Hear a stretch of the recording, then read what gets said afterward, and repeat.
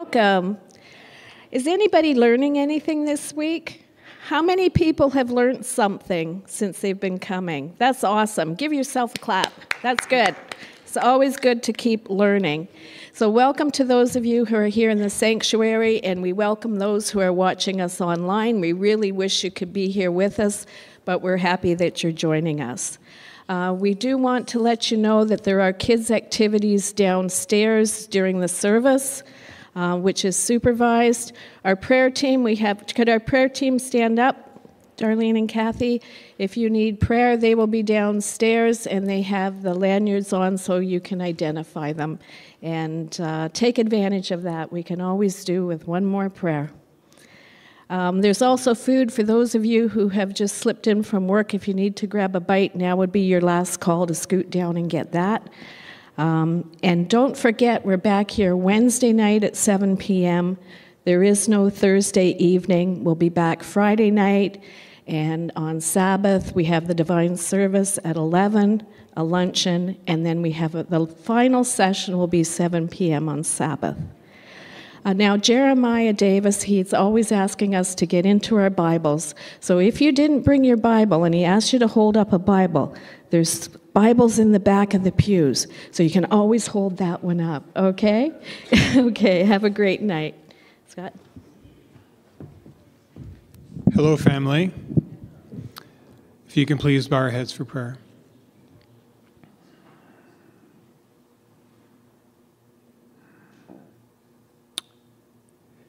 Heavenly Father, every head is bowed and every eye is closed. There is silence, Father, in your sanctuary because we are seeking to hear your voice. And your voice, Father, is still and small. It is amazing, Father, that you are all powerful, all present, and all knowing, and yet you can be so, so quiet, so intimate. We are grateful for leading us here tonight. We pray, Father, that you will fill this place with your Holy Spirit.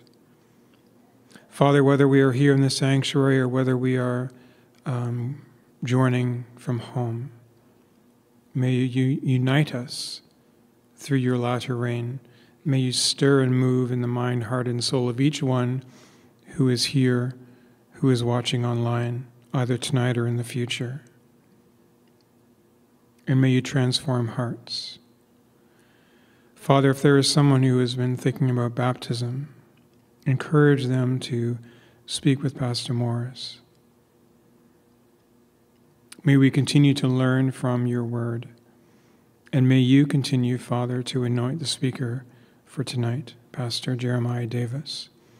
Continue, Father, to be his passion.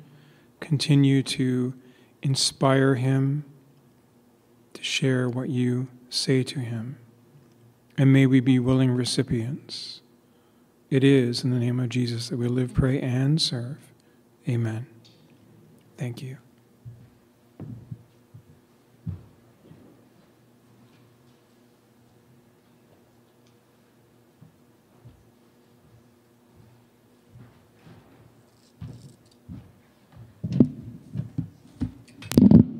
Good evening. Happy Tuesday. Yesterday I said Happy Tuesday, but it was Monday. so now it's Happy Tuesday. Our opening hymn is taken from 618 Stand Up for Jesus. Can we stand?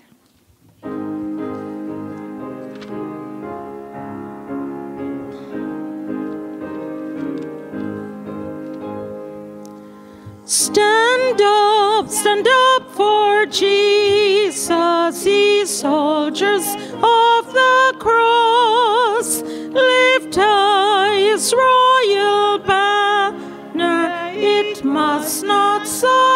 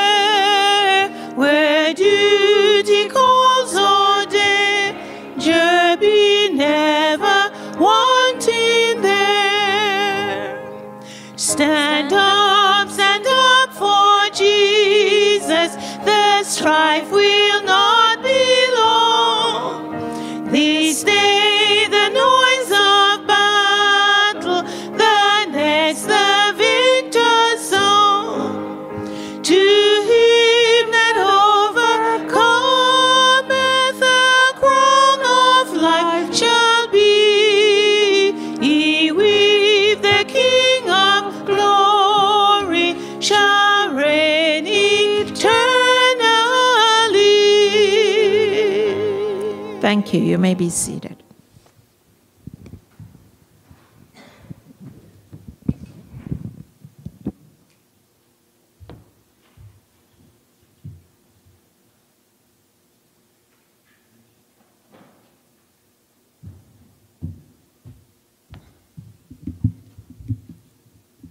Good evening, brother. It's time for the little quiz. Okay. So I guess you have done your homework. I assume you do. You did. Fill in the two blank. Based on directly on Daniel 12:1, we need a relationship with Jesus Christ as two words based directly on Daniel 12, 1. We need a relationship with Jesus such as, such as, pardon me? Give uh, a gift, please.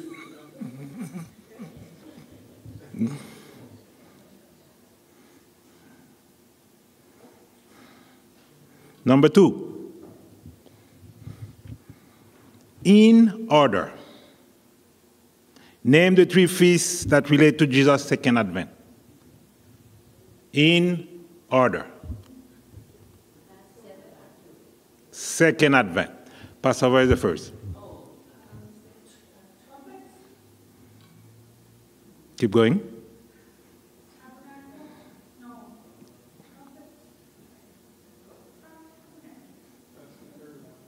Uh, uh, okay. You, uh, you, you got the first right, you got the last right. Can somebody have them all three? With,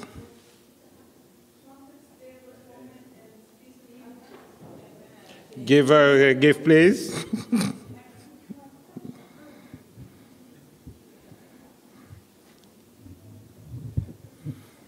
Number three. On the day of atonement, the sin of the children of Israel were confessed on the head of the scapegoat. But that's not the question.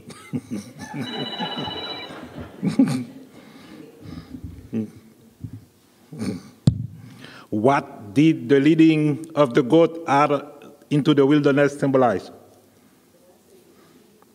What did the leading of the goat out into the wilderness symbolize? Remember? Pardon me?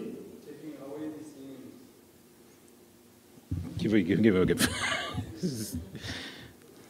the people being separated from their sin and rebellion against God.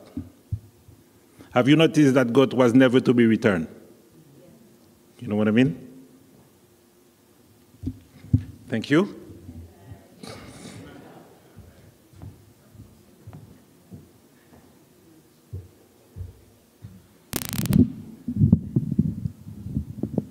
All right, evening. I'll be sharing Health Nugget with you again tonight. So, I'm going to give you a list of amazing benefits or amazing things, and you're going to see if you can figure out what I'm talking about, okay? So, prioritizing this one thing leads to all of this better academic performance, higher self esteem, greater sense of resilience, lower risk of substance abuse, lower risk of teen pregnancy, lower risk of depression, lower likelihood of eating disorders, lower rates of obesity, better cardiovascular health in teens, bigger vocabulary in preschoolers, and healthier eating patterns in young adults. Any guesses what I'm talking about? And if you say it, say it loud, because. Okay. Any other guesses? All right. So I am talking about family meals. so having dinner together, or just a meal together, it doesn't have to be dinner. so this is surprising, right? So the impact of eating family meals together, it reaches far beyond the table, as we can see. So there are tons of studies that you can find that validate all these points. And here are some more. So family meals, they improve physical health by promoting better dietary habits and food choices. And when eating as a family, family members are more likely to eat fruits and vegetables um, and make those better food choices. It directly promotes the health and wellness of a family and has the power to fight health issues such as obesity and malnutrition. And the National Center on Addiction and Substance Abuse at Columbia University concludes that frequent family meals increases the chances of parents raising drug-free, healthy kids and can also decrease household stress for everybody because kids have a lot of stress these days and teens. And family time spent during meals allows parents to build stronger relationships with their children so that they can understand their children's day to day life and keep them on a healthy life track. Family bonds create support systems that can maximize the success and well being of all family members. So, sharing a meal together is a meaningful and effective approach to starting conversations and building trust and self esteem and coping skills in your, in your children and in your family. Um, and when they sit down together, children and teens become better at handling the stresses of their daily life and better at speaking to others and speaking up for themselves and more confident in their support system. So, um, some tips are just keep a list of, say, 10 family favorite meals that you have and recipes that you can draw from, and make it easy for family members to help in the prep of the meal and setting the table. And eat dinner earlier in the evening if you need to accommodate other activities. Whatever you can do to make it happen. Prepping meals ahead um, can make it more enjoyable as well and less stressful to get it on the table. And um, and just having this, these family meals together, you make lasting connections um, with, your, with all family members. You have heartfelt conversations. And you also have traditions that you are um, passing on, but that your child will look back on and, and really cherish. And also, um, the nourishment of it is very important. It's just, it is beyond the food, though. It's not just what's on the plate, it's feeding the body and soul of everybody, as well as providing sustenance for physical health and emotional fulfillment. And it also strengthens your family ties. So, as I said, it strengthens your bonds together, and it really lays a foundation for a lifetime of love and support with one another. So it's not worth the risk of skipping out on these precious, this precious time together. So try to make it a priority, even if it's just uh, a few times a week. It's worth it. Thanks.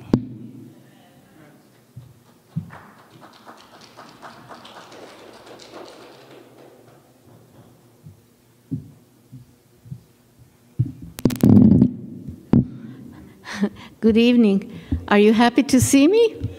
I'm happy to see you. and you know what I'm all about. So I'm going to tonight, just to make things um, move along quicker, I'm just going to read uh, a, a, verse or two from uh, the Bible uh, regarding our offerings. But this I say, oh, 2 Corinthians 9, 6, and 7. But this I say He which sows sparingly shall reap also sparingly, and he which sows bountifully shall reap also bountifully. Every man as, according as he purposes in his heart, so let him give, not grudgingly or of necessity, for God loves a cheerful giver. So let's with gladness give whatever we can, we give to the Lord, and He will bless us, He will bless our gifts. So um, I will ask uh, the deaconesses to come forward. Are they ready? Deaconesses?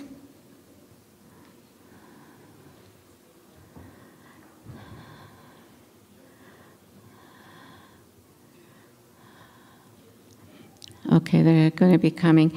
Um, so we know that the Lord, uh, I've experienced this in my life. I can never outgive God.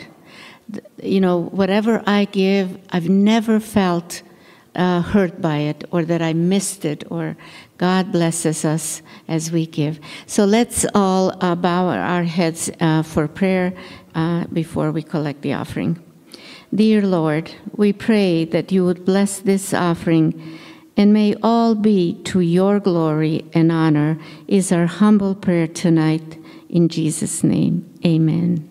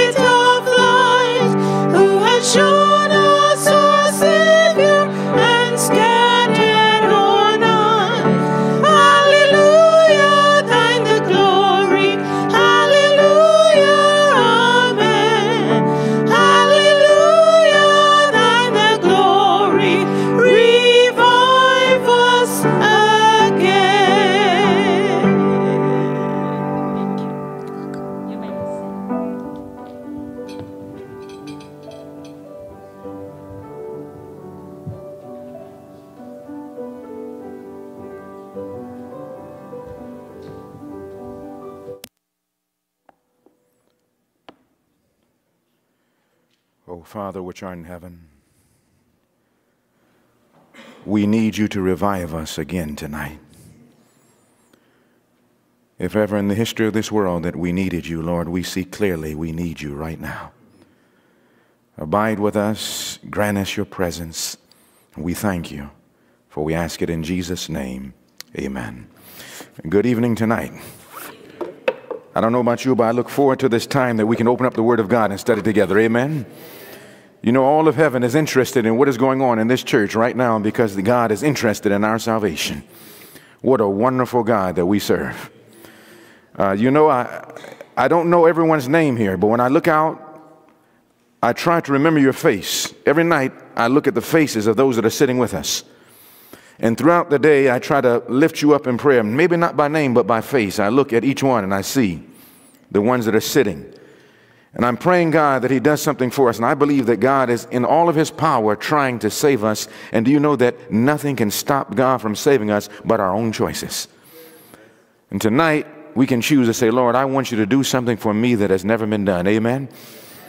This is what God is wanting. Now, you remember that last night I gave you a challenge. Amen?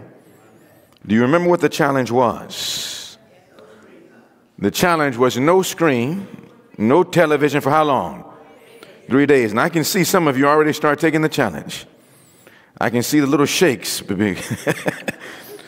I see the little addiction, uh, Benson, but, but, but you made the challenge. Amen. You took it. Praise the Lord. In fact, I'm going to I'm going to challenge your braveness, your courage, And I want to ask, and I want to see the hands of those that took the challenge downstairs and upstairs. I want to see the hands of those who took the challenge to say, Lord, I'm going to do this by the grace of God. I'm going to do this. Let me see your hands. I see a few hands. Praise the Lord. That's, that's a good amount of hands that went up. So he, the brother said he, he can't, can't do it. I'm going to tell you something, my brothers and sisters. And I'm not challenging our brother here, but I'm going to tell you this. If we cannot come to a place where we cannot, like, remember what I said now, we're talking about particularly looking at this in recreational experiences. I'm not talking about just looking, all of a sudden the news come up and you see the weather and, and, and that come back for a couple seconds. I'm talking about the screen of where we're spending our time. You understand what I'm telling you? Now, my brothers and sisters, anyone who cannot break the addiction with the screen will not be ready for the coming of Jesus. Impossible. There's no question in my mind. The Bible is clear about this. But now, my brothers and sisters, three days is just a little bit of time. Now, we're only on night one, right? Now, now this is tonight is bringing us to night one. You said, please, night two. This is night two. This is bringing us to night two. Now, on Wednesday night, uh, Pastor, I'm going to then try to see if we can negotiate and see if we can get another three nights. Amen. uh, but, but, but I'm not going to tell you that. But just, just from now, we're going to go on three nights. Now, you'll know what happens. Do you know that, that when you start doing something for three days, do you know that the beginning of a habit is formed? And something in the brain called neural pathways begins grooves begin to start deepening after a while of doing something again and again and again. I want it to become a, a, a, a, habit for us to turn off devices and turn on jesus christ. Every time you pick up a phone you should think in my mind have i talked to jesus already? You remember i told you last night if we did to our cell phones, what we did to Jesus, we would have a relationship with Christ. We're so dependent upon these things. And God is trying to now change the dependence, making a radical change from us dependent upon worldly things and to us depending upon Jesus Christ. I want to do that. What do you say? And so we're going to go three nights uh, by God's grace without television. Now, uh, I, in, on, they have something here called CTV. You know about CTV, don't you? Do you know if there was a radio announcement made and it appeared somewhere on CTV as well that said, if you would come to this meeting every night, that you can get $10 million. Can you imagine if they aired that, if they aired that on CTV? A man, I, I mean, that, that man, and, and they said, look, if you, but you had to come every night and bring a Bible. You had to come every night, bring a Bible and take notes every night with children. Do you know that this building, this church will be filled to capacity?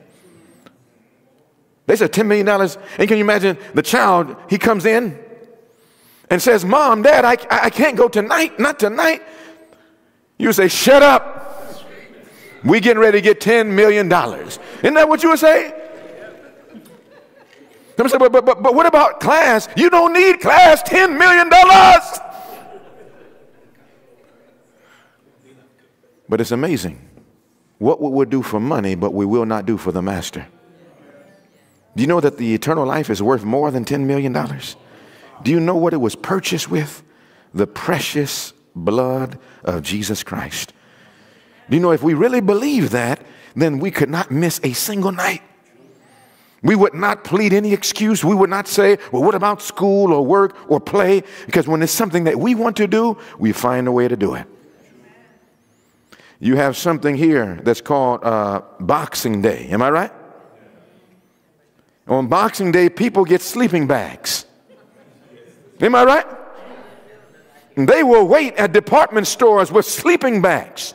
They don't ask, how long are we going to be there? They don't ask what time. They will be in the morning, three o'clock in the morning. They're there wiping sleep out of their eyes. Is it time yet? Just so they can get a new device one of those big screen televisions, maybe free, just so they can get the newest iPhone, just so the latest gadget or the latest device, man will inconvenience himself and lose sleep. Why won't we do that for Jesus? I think that's a problem. But by God's grace, that problem can be fixed tonight. What do you say? And what God is trying to do right now, and He's trying to wake us up because He understands that we don't have much time left. Would you take your Bibles and turn to Esther? What book did I say? I'm going to tell you why. We're going to Esther chapter 3. Going, I'm going to tell you why tonight. Tonight, the reason why we do this is because we don't understand the love of Jesus. We don't understand what Jesus has gone through. We don't understand God, and as a result, we no longer understand ourselves. We have lost our identity. We have lost our what? Identity. And my brothers and sisters, we're going to find that in order to do what needs to be done today, we cannot do this without a knowledge of who we are and whose we are. And Satan's plan is to destroy the identity of God's people at this time. In the midst of this crisis, was there ever a time where a person in the Bible had come to a crisis of the ages? And in order to meet that crisis, they had to recognize what their identity was. Was there ever a time like that? Does anybody remember a person in the Bible like that? Does anybody remember the name of that person? What was the name of that person? Talk to me, somebody. Esther. You remember the phrase in, Esther chapter 4 it said that who, who knoweth that she had come to the kingdom for such a time as this? Who knows that this revival has come to Barrie, Canada, for such a time as this? Who knows that you have come to this church not just from invitation, but that God is looking for somebody that will stand for him in such a time as this. I believe he's calling us. What do you say? Now, in the book of Esther, chapter 3, notice what the Bible says in Esther, chapter 3. Now, I want to ask you a question Was Esther her name? No, Esther wasn't her real name. Esther was her Persian name, but it wasn't her real name. You remember that Esther sought to fit in into the Persian kingdom without trying to enlist attention, but there came a crisis that made her, in order to save her people and be a blessing to the world, it made her had to identify or realize her distinctive identity. And we're going to find that today in this last generation, that what Esther did before her crisis, you and I must do before the final crisis. Esther did three things. How many things? Three things. I want you to write this down. Three things. Esther did three things. Number one, Esther, before she could be a blessing to the world and help her own people, because you remember, her own people were getting ready to be persecuted. Am I right? Every one of them getting ready to be destroyed. And Esther had to make a decision. I'm not going to pretend that I'm just a queen in the kingdom. I've got to identify my distinctive identity and recognize it and realize it. Three things she had to do. And the first we just identified. The first thing that Esther had to do was realize and recognize her distinctive identity. Not her Persian identity, but her distinctive identity. Was Esther different? Yes or no? She was. And the first thing she had to do was realize and recognize her distinctive identity. The second thing that Esther had to do before she could bless the world and help her people was number two, she had to embrace her distinctive identity. She had to do what? Embrace. Now, what does that mean? For example, is it possible to know I'm distinct and different and yet not like it? Yes or no? Do you know, brothers and sisters, that Seventh day Adventists are the most distinct people in all the world? There's no religion like this religion. And in order to be a blessing to the world, in order to save our own people, we must begin to realize and recognize the distinctive identity that we have as Seventh day Adventists. I'm gonna tell you something. This meeting is not so much for Barrie in the community. We may call it a community outreach, but I'm gonna be honest with you. The Holy Spirit told me this is not for the outreach, this is for us. Do you know that we will never reach the world until the church is reached first? And the Bible said to the Jewish nation, He said, You can pass sea and land to make one proselyte. But when you make him, you make him twofold more than child of hell than yourselves. But before God can reach the world, God must first wake up the remnant. Can you imagine what would happen if God brought all Barrie to this church? What if just all, the, the entire community came here? Where would the members be to take care of the church? Who would take care of all the hundreds coming? Imagine setting up a garden. You plant acre and acres of, of fruit and fruit and, and, and a great harvest. Do you know how much food you can grow on an acre of land? What would happen if you only had two people to reap the harvest? What would happen? The food would spoil. it would die. What would happen if God were to bring thousands upon thousands into the church today? It would die because of the condition we're in right now. And so God does not now work to bring many into the church because of the condition of we as a church. And so the first thing that God does before reaching the community and the world, the first thing that God does is produce a revival and reformation. And do you know there's enough people in this room that if we truly experience revival and reformation, there's enough people in this room to reach not only all of Barrie, but the entire world. This is what the devil's afraid of. But in order to do that, number one, we must realize and recognize our distinctive identity. We're not like everybody else. We must understand that from the Bible. Number two, we must not only realize that, but we must embrace it because today, everything that is Seventh Adventist is amazing that we as Seventh Adventists, we hate it. Just name it Seventh Adventist, we hate it now. Seventh Adventist diet, we hate it. Seventh Adventist dress, we hate it. Seventh Adventist music, we hate it. The devil is trying to make us hate ourselves. Because there's no way that we can share with the world this most beautiful message if we ourselves don't know what it is and we don't like it. And so we must learn to embrace our distinctive identity. And then, number three, Esther had to be willing to manifest, to disclose, to reveal that distinctive identity to the entire world. And do you know that at Seventh Adventists, there's a message that God has given us that must go to every nation, it must go to every kindred, it must go to every tongue, it must go to every people. But it's going to start not out there. You know it's going to start? Right here and here with us. And brothers and sisters, I want it to start with me. What do you say? I wouldn't be looking around and be thinking, I wonder if someone else is hearing the message. I wonder if someone else is getting ready. I, I would begin looking in my own heart and saying, Lord, am I ready? Because you know it's a shame. We know we'll be ashamed. If we came to prayer meetings and weeks of prayers, we came to church, we had our name on church books. Can you imagine if I preached this message and still became a castaway? What worth would it be? That's why the apostle said, I'm not going to preach the truth to others and myself be a castaway. It's not worth it, brothers and sisters. Can you imagine you being an elder or a pastor or a leader or a member? Can you imagine controlling the sounds? Can you imagine controlling the camera and then being lost? And God says, it's nobody's fault but our own. Can you imagine someone said, but I didn't hear? God said, no, wait, well, you didn't hear? You uploaded the, the, the, the, the presentation. You reviewed it. You preached it. You taught it. You studied it. You came night after night. My brother and sister, this is not a fairy tale. What we're studying is life and death. There's no joke.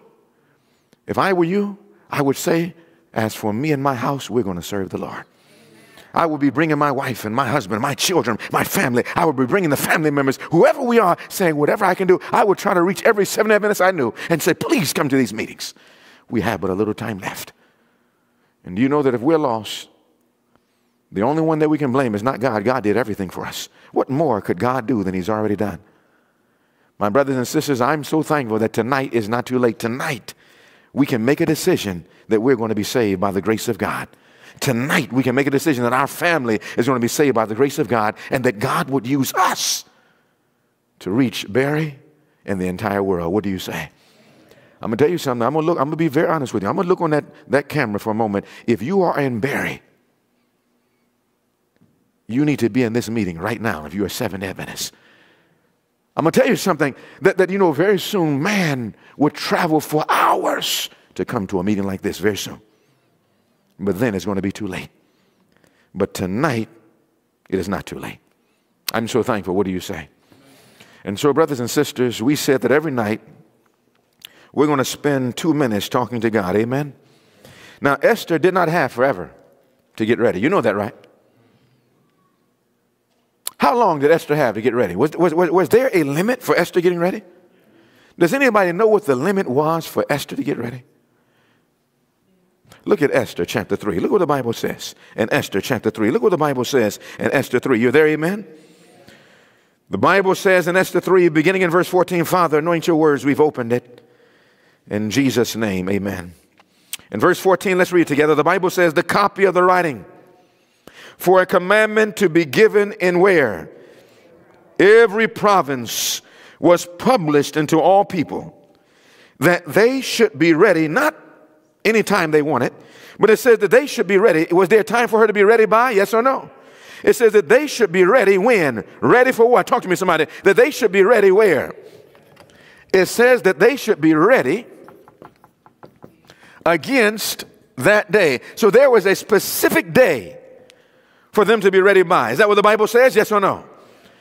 Now, you must understand something. Even though we're reading Esther, what was written in Esther was written for our last days, upon whom the ends of the world are come. Look what the prophet says, volume 5, page 449 and 450. It says, Church and state are now making preparations for the future conflict.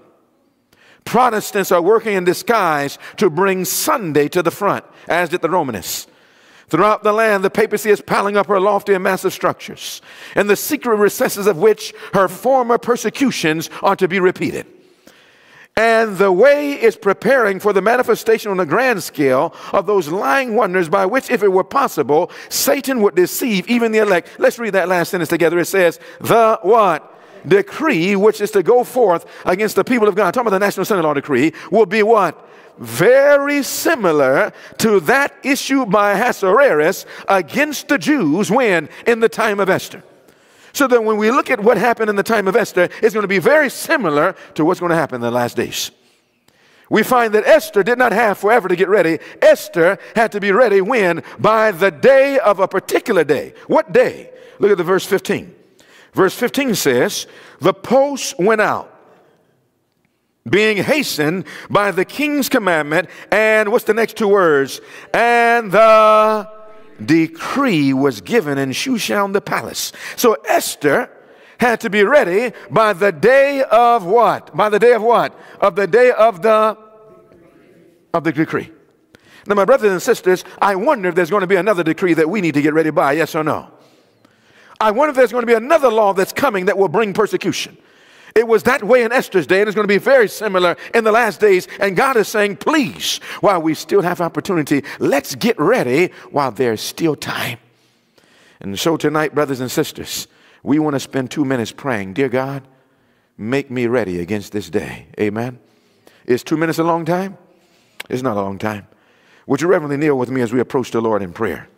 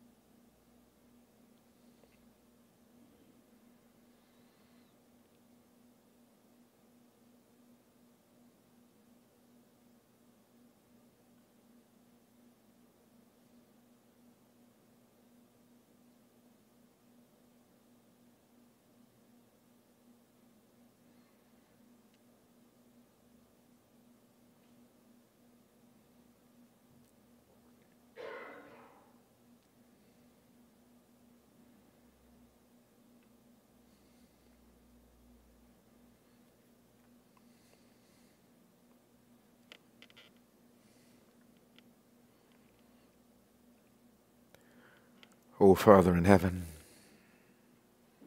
Lord, we sense your presence here tonight, and we're so thankful that you're interested in our salvation. Lord, though we have turned our backs many times on you, your hand is stretched out still. And with long suffering, with loving kindness, you're seeking to call us back to your side before it is too late.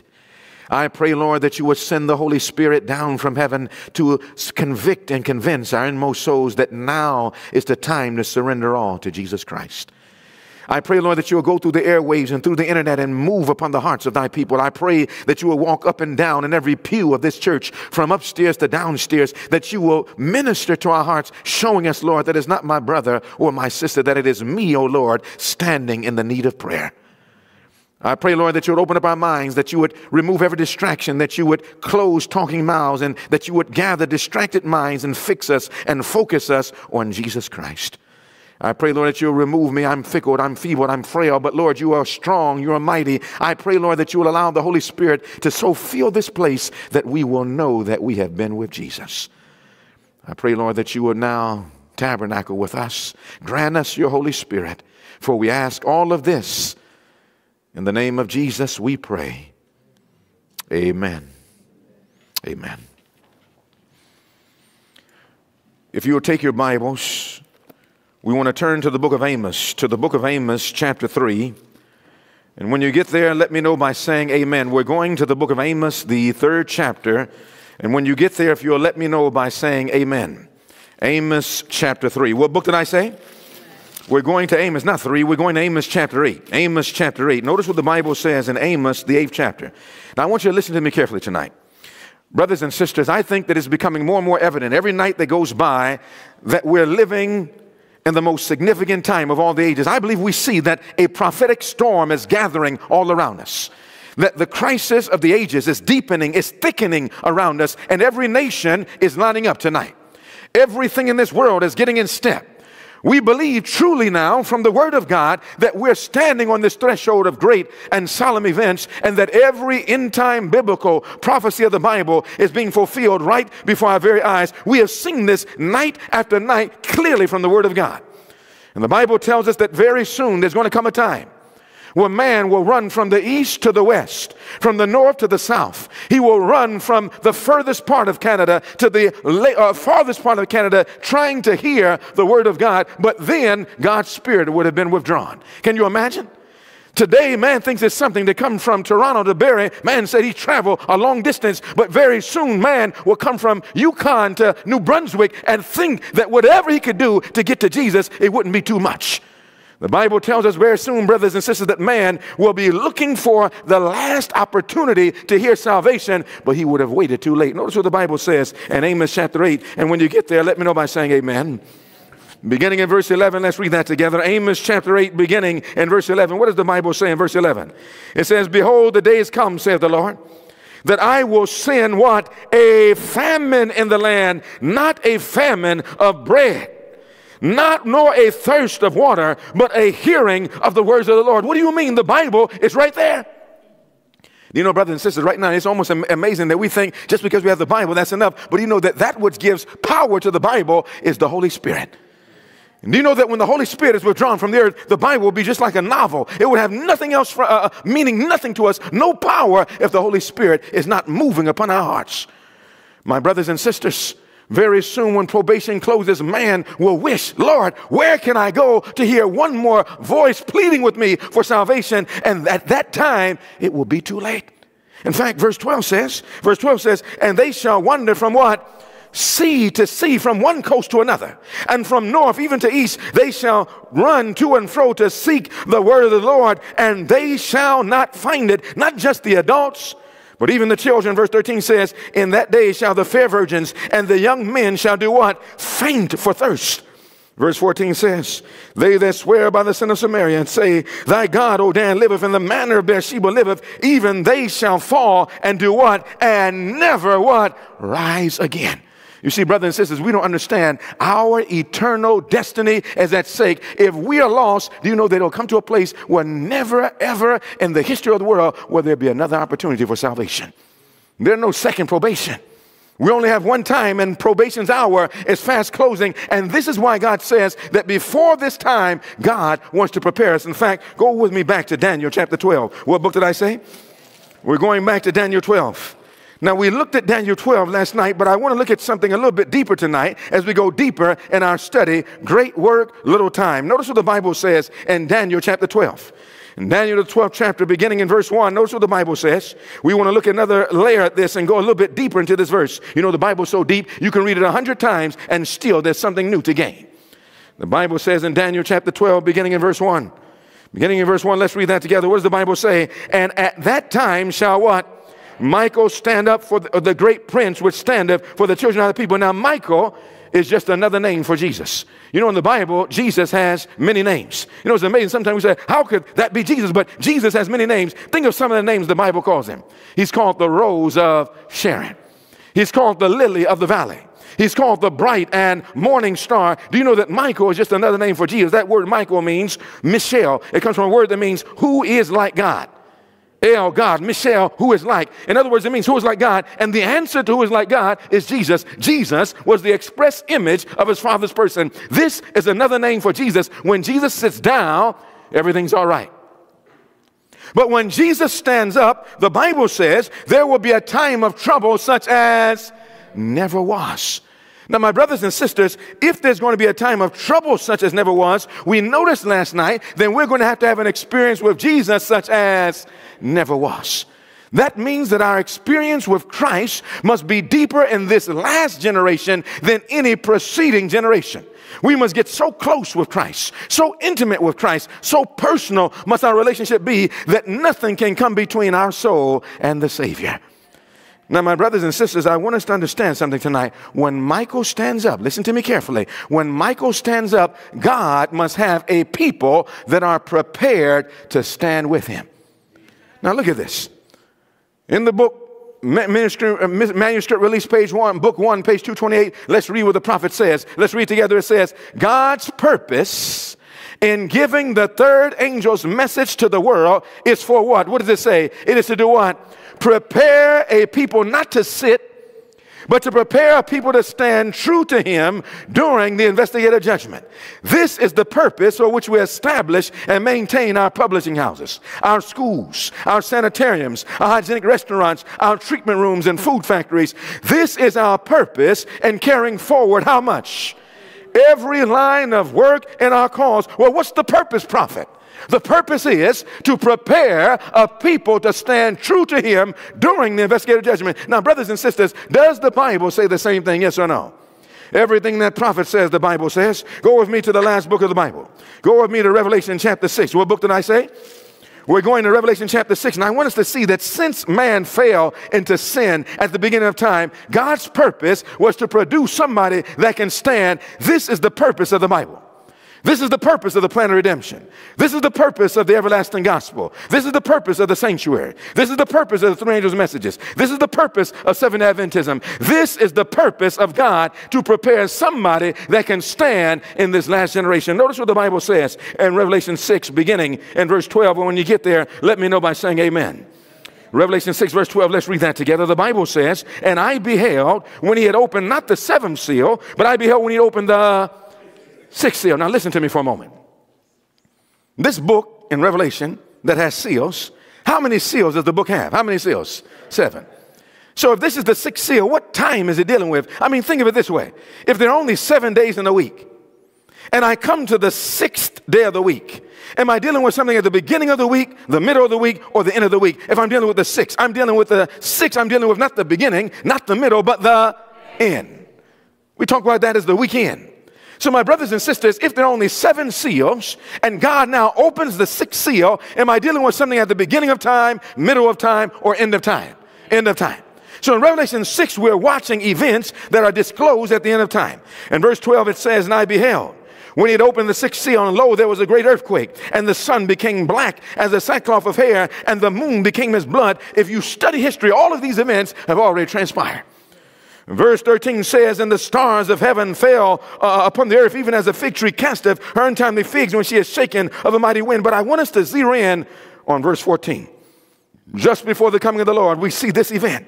Let's read verse 14 together. What does the Bible say? It says, And the heavens departed as a scroll when it is rolled together and every mountain and island were moved out of their places, and the kings of the earth, and the great men, and the rich men, and the chief captains. It looked to John like everybody was doing this. He said it seemed like every mighty man, every bondman, every free man hid themselves in the dens and in the rocks and the mountains. And notice what they said in verse 16. Let's reread that together. Verse 16 says, And said what, everybody? To the mountains and rocks do what? Fall on us and hide us from the face that's, uh, of him that sitteth on the throne and from the wrath of the Lamb. Now, my brothers and sisters, you know that when a man is lost, he has lost his mind. You know that you cannot have a good mind and be, and be lost. If a man is lost, he's gone mad. You say, How do you know? I mean, think about it. If a man starts talking to a rock or a mountain, you know he's gone mad. Am I right? And so these people are talking to the rocks and mountains saying, Fall on us. We should have been talking to Jesus. We should have been pleading, saying, Lord, break up the rocky heart that I have and give me a soft heart so that I can know Jesus. The Bible says in verse 17, this is what they're crying for the great day of his wrath is come. And it, the question is the million dollar question, the universal question. And who shall be able not to sit? That's not what the Bible says. Who shall be able to do what? Talk to me, somebody. Stand. Now, my brothers and sisters, that is what the universe is waiting for. The plan of redemption is to produce a generation that can stand in the sight of a holy God without a mediator. But, brothers and sisters, what experience must be ours in order to stand at this time? Look at what the Bible says in the book of Hosea. What book did I say? We're going to Hosea chapter 14. Go to Hosea 14. After Daniel, you come to the book of Hosea. Look what the Bible says. After Daniel, come to Hosea chapter 14. Now, my question is, how are we going to be able to stand? Now, can we sin and stand at the same time? Is that a good question? Is that a good question? Yes or no? That's a good question. Can we sin and stand at the same time? Let's see what the Bible says. In the book of Hosea, chapter 14, when you get there, let me know by saying amen. Hosea 14, beginning in verse 1, let's read that together. The Bible says, O Israel, Return unto the Lord thy God, for thou hast, what's the next word? Fallen by thine iniquity. Can we stand and fall at the same time? Oh no. So, how do we fall? What does the Bible say? What causes a man to fall? The Bible says iniquity. Now, my brothers and sisters, think about this for a moment. When Adam and Eve sinned, was that called the standing of man or the fall of man? So, sin never makes us stand. Sin always causes us to fall. And the Bible says that God in the last generation is trying to prepare a people not to fall, but to prepare people to stand. In fact, in Hosea chapter 14, verse 9, let's read that together. It says, Who is wise?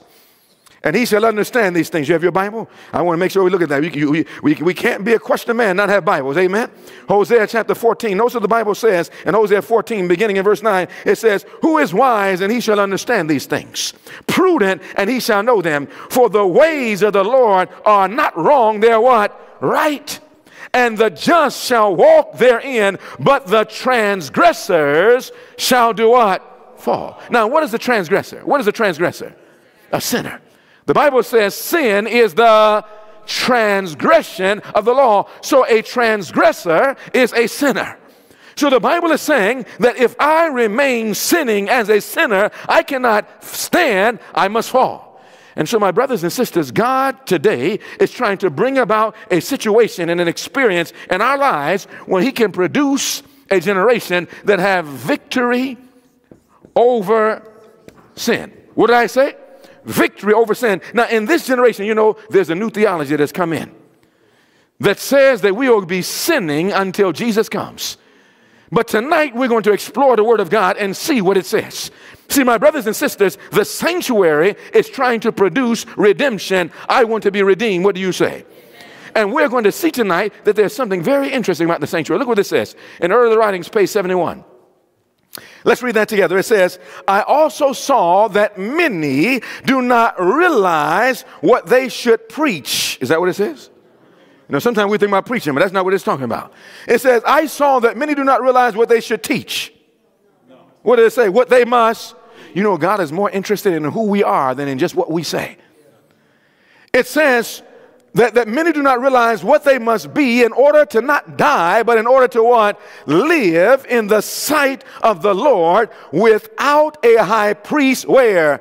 In the sanctuary through the time of trouble.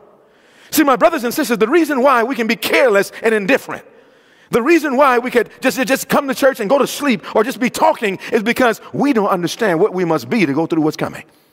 This says that in order to understand this is those who receive the seal of the living God and are protected in the time of trouble, not might, but they what? Talk to me, somebody. Must reflect the image of Jesus, not partially, but how? Fully. In other words, we must look just like Jesus. Now, my brothers and sisters, why is it? Now, question Did Jesus sin? Yes or no? The Bible says he was tempted in all points like as we are, yet without sin.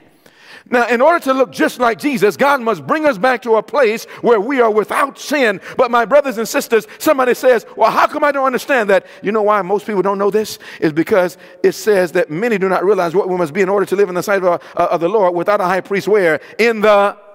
So if the devil could destroy the sanctuary message, he would destroy the understanding of what we must be in order to live in the last generation. He would destroy our understanding of the necessity of becoming just like Jesus. But, my brothers and sisters, this is the work of the sanctuary. The work of the sanctuary is to make us just like Christ. Look at First John. What book did I say?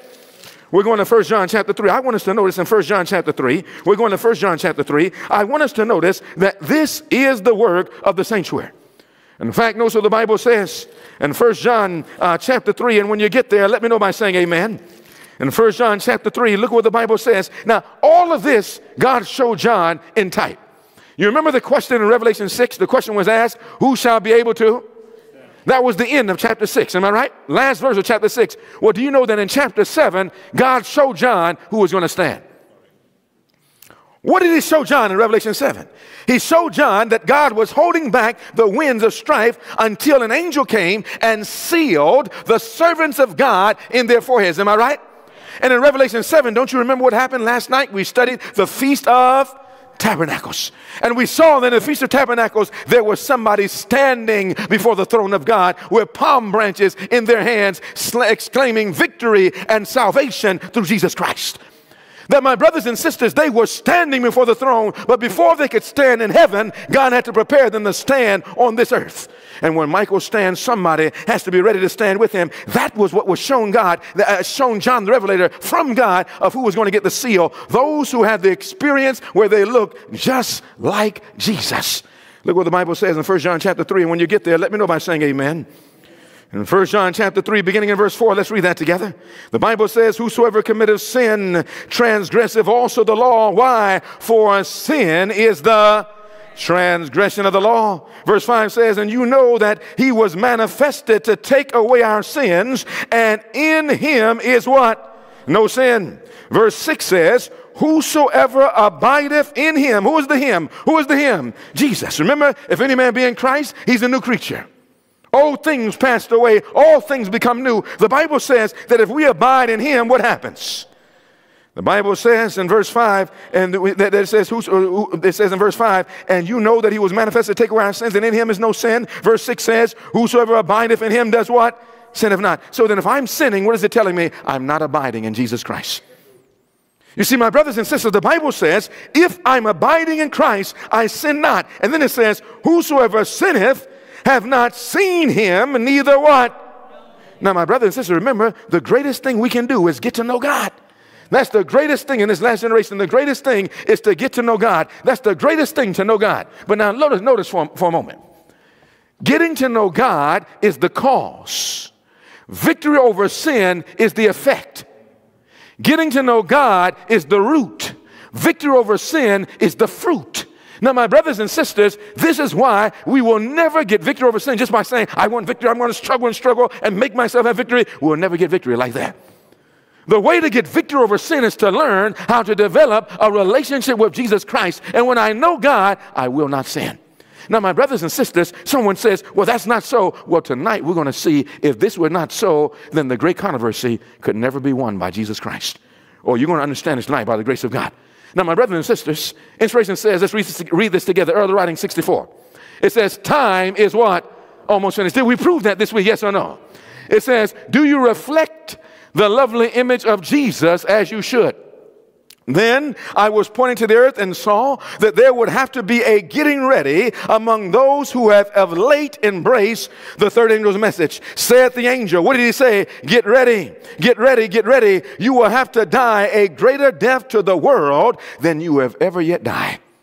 You know, brothers and sisters, we haven't died deep enough. You know, sometimes we still have love for this world. We love its goods. We love its television. We love its diet. We love its food. We love its life. But the Bible says, love not the world neither the things that are in the world. For if any man love the world, the love of the Father is not in him. This says, I saw that there was a great work to do for them, and but what? Little time in which to do it. This is what we're studying tonight. Our subject tonight is great work, little time. Would you say that with me? Great work, little time. One more time. Great work, little time. Now, my brothers and sisters, there are many things to study in the sanctuary. Many things that we can study in the sanctuary, but there are two things that are essential. Many things to study, but two things that are essential. What are the two things? I want to write on the board. You should write this down on your notes just like this. You'll put one and two. Many things that are, uh, are important in the sanctuary, but two that are essential. Now, many things we'll learn in heaven about the sanctuary we never learn on earth. You know, people are studying everything about it, but you're going to find out two things. If we don't learn this, we'll never get to heaven.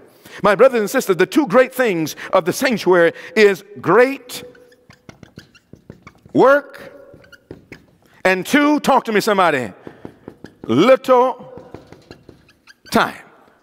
So there are many things to study in the sanctuary. But there are two things that are essential, and the two things are great work and little time. Now, someone says, How do you know that? Go to the book of John. What book did I say? Go to the book of John, chapter 9. In John, chapter 9, notice what the Bible says. We're going to find out that just what Jesus focused on is, on is what we should focus on. The same thing that Jesus taught, we should talk. Now, I want to ask if, if, we have maybe an elder that can go in, we can bring our greeters. They, the greeters can come in now. A, that's about all the people we need to bring in just now. Which the greeters can come in. Can someone bring in everyone else so we can continue? We don't want no one to miss what we're studying. So we're going to John chapter 9. Thank you. We're going to John chapter 9. In John chapter 9, we want to understand that the way to know what the greatest thing to study is, is to look at what did Jesus study.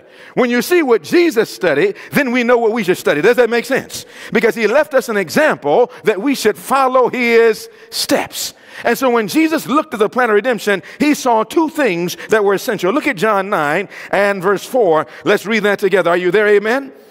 Verse 4, let's read that together. What does the Bible say in verse 4? It says, I must work the works of him that sent me when? While it is day. The night cometh when what? No making work. I want to see, did you see it? In this verse, it pointed out two things that was on Jesus' mind. Did you see what the two things were? Yes or no? What were the two things? Great work, little time. He said, I must work. That was the work of him that sent me while it is day. The night cometh. What was the night? It was dealing with the time. So, my brothers and sisters, we find out that there is a time of redemption and a work of redemption. There is a time of redemption and a work of redemption. And all that's saying is great work, work of redemption, and little time, time of redemption. What were the two things? Great work, little time. Work of redemption and time of redemption. This is what Jesus focused on. So, my brothers and sisters, what you and I must do tonight is to look at this. Now, you're going to find out that all this week thus far, all we have been studying about was actually just one of these two things. We've been looking at the time of redemption, we've been looking at that little time. But, my brothers and sisters, I want to ask a question what is more important, time or work? Was that a good question? Now, both are important, but one is more important than the other. If I were to say, let me ask another way what is more important, the Sabbath or man? Both, but the one is more important than the other. Am I right? What is more important, man or the Sabbath? Man. Do you know that Jesus said that the Sabbath was made for man and not man for the Sabbath? You see, the Jewish nation misunderstood where the value was. God placed the value on mankind. It's amazing today that in America and in Canada, we put more value on animals than we do on man. It's amazing. I, I, saw, I saw today while I was walking outside getting some exercise, and I saw a woman. She was walking a dog. She had a yellow bag in her hand. I looked for a moment, watching what she was doing this yellow bag, and all of a sudden the dog stops and uses the bathroom. And then all of a sudden she comes behind him and picks it up and puts it in her hand and then carries it around with her for the next to the wall. She wouldn't even do that for her child. You don't have a baby use the bathroom, you just pick up the, the, the, the, the using the bathroom and then put it in your pocket. You don't do that for that. Can you imagine, brothers and sisters? Here's uh, uh, the dog. They put little booties on the dog, they, the little foot on the dog, and sweaters on the dog, giving him beds to lay in. I mean, feed the dog with the highest treats that you can buy. And then a man is outside begging for money, begging for a dime or a quarter at the light, and we turn our heads from that man. How can we value animals above man? We should be ashamed of ourselves. But you know, every pagan religion, every pagan religion exalts animals above man. Do you know that they, they exalted cows and, and, and, serpents and, and birds and four footed beasts? But the religion of God is sacrificed an animal to save the man. You see, God's religion teaches us that nothing is more valuable than mankind. Jesus died to save you and I. And my brothers and sisters, God is trying to show us today that we are more valuable. So when we talk about great work, little time, both are important. But I'm going to tell you something work is more important than time. The purpose of time is to accomplish a work. To everything, there's a season and a time to every purpose under heaven. There's a work to be done. And some people say, I've heard somebody say, Oh, I'm waiting for the coming of the Lord. I just can't wait till Jesus comes. My brothers and sisters, we would not say that so care- carelessly if we did, if we understood what the work was. You see, in order to be ready for the coming of the Lord, there's an experience, and we're happy for that. But we say, First, Lord, give me the experience, because that's what Amos says when he says, The day of the Lord is going to be a day of darkness, a day of paleness, a day of, uh, of gathering of paleness in the face. Why? Because in order to be ready, there takes a radical change that must take place inside of us. Now, my brothers and sisters, we looked at the time of the sanctuary. I want to test you tonight. What is the time or little time or the time of the sanctuary? What is the totality of the time? Remember, great work, little time. What is the time of the sanctuary? Can somebody tell me what is the time? You have all of the answers already. I just want to make sure that you're reviewing and understanding what you review. What is the time of the sanctuary? Now look about it. Look, look tonight. Nobody's going home if you can't answer these questions. So, what is the time? It's almost like saying right now, what is the gospel? And you say, well, the gospel is good news. You ever heard somebody say it before? And I said, what is the good news? What's good news? Well, what is the news? Don't just tell me that the gospel is good news. Tell me what the news is. Tonight, we're going to know what the news is. See, most people have never heard the good news of the gospel. Tell me something. Is it good news just to know that Jesus died on the cross? Is that only good news? Do you know that when the angels first heard that Jesus died on the cross, they did not smile, they cried because their Redeemer died. The one they love died. The good news is not simply Jesus died. That hurts. I mean, talk to me, somebody. Somebody says they're smiling and laughing up and down. I've heard some good news. You say, What'd you hear? I heard that my wife died. You say, That's good news. No, no, it's more serious than that. More serious than that. No, it's more serious than that. My brothers and sisters, you find out when you look at this, that's not good news. Heavenly Father, I pray that you would help us to see how serious this is that Lord, time is running out. And it's because that we don't know and love you that we are in the condition we're in right now. Please help us tonight. In Jesus' name, amen. My brothers and sisters, it is not good news just simply to tell somebody that Jesus died on the cross. We must understand the entire story. And in the sanctuary, the plan of redemption gives us the entire story that makes the death good news when you know the rest of the story. And so, my brothers and sisters, the time of redemption is seven thousand years. You should have shouted that out to me. Uh-uh. The time of redemption is 7,000. Remember, at the end of redemption, redemption means restored. That means that we must be in the same place we were in when sin, before sin entered the world. Where was man before sin entered the world? Were we in heaven or on earth? Did we have access to the tree of life? Yes or no? We were on the earth and so when the plan of redemption is finished, where shall we be? Back on earth, having access again to the tree of life. And so, my brothers and sisters, that's not true after 6,000 years. But it is true after what? 7,000. God finishes everything in sevens. And so, my brothers and sisters, the plan of redemption is a story of 7,000 years, the history of redemption. So, the time of redemption is how long? How long is the time of redemption? 7,000. Now, that redemption plan is broken up into two parts 6,000 on earth, 1,000 in heaven. Are you with me? Now, my brothers and sisters, that is it. Now, do you know that what I'm teaching you this week, every seven Adventist used to teach it? A man by the name of J. N. Andrews. Let me hear, hear this, see the hands of those who have heard of a man by the name of J. N. Andrews. You know, there's a great university, we call it, for seven Adventists called Andrews University, named after this pioneer. Look at what he taught. I'm going to be honest with you. Because today, many would teach what he taught was wrong, and today you see that what he taught was right there in the Bible. Look what it says. It says, in his sixth article, J. N. Andrews stated the same concept. Look what he says, last paragraph. After seven of these weeks of years came the year Jubilee. In this year, liberty was proclaimed throughout all the land to all its inhabitants, and every man returned to his own inheritance. This signifies that after the great Sabbath, during which the earth will remain uncultivated, how long? For a thousand years, the great week of 7,000 years being finished, the curse will cease.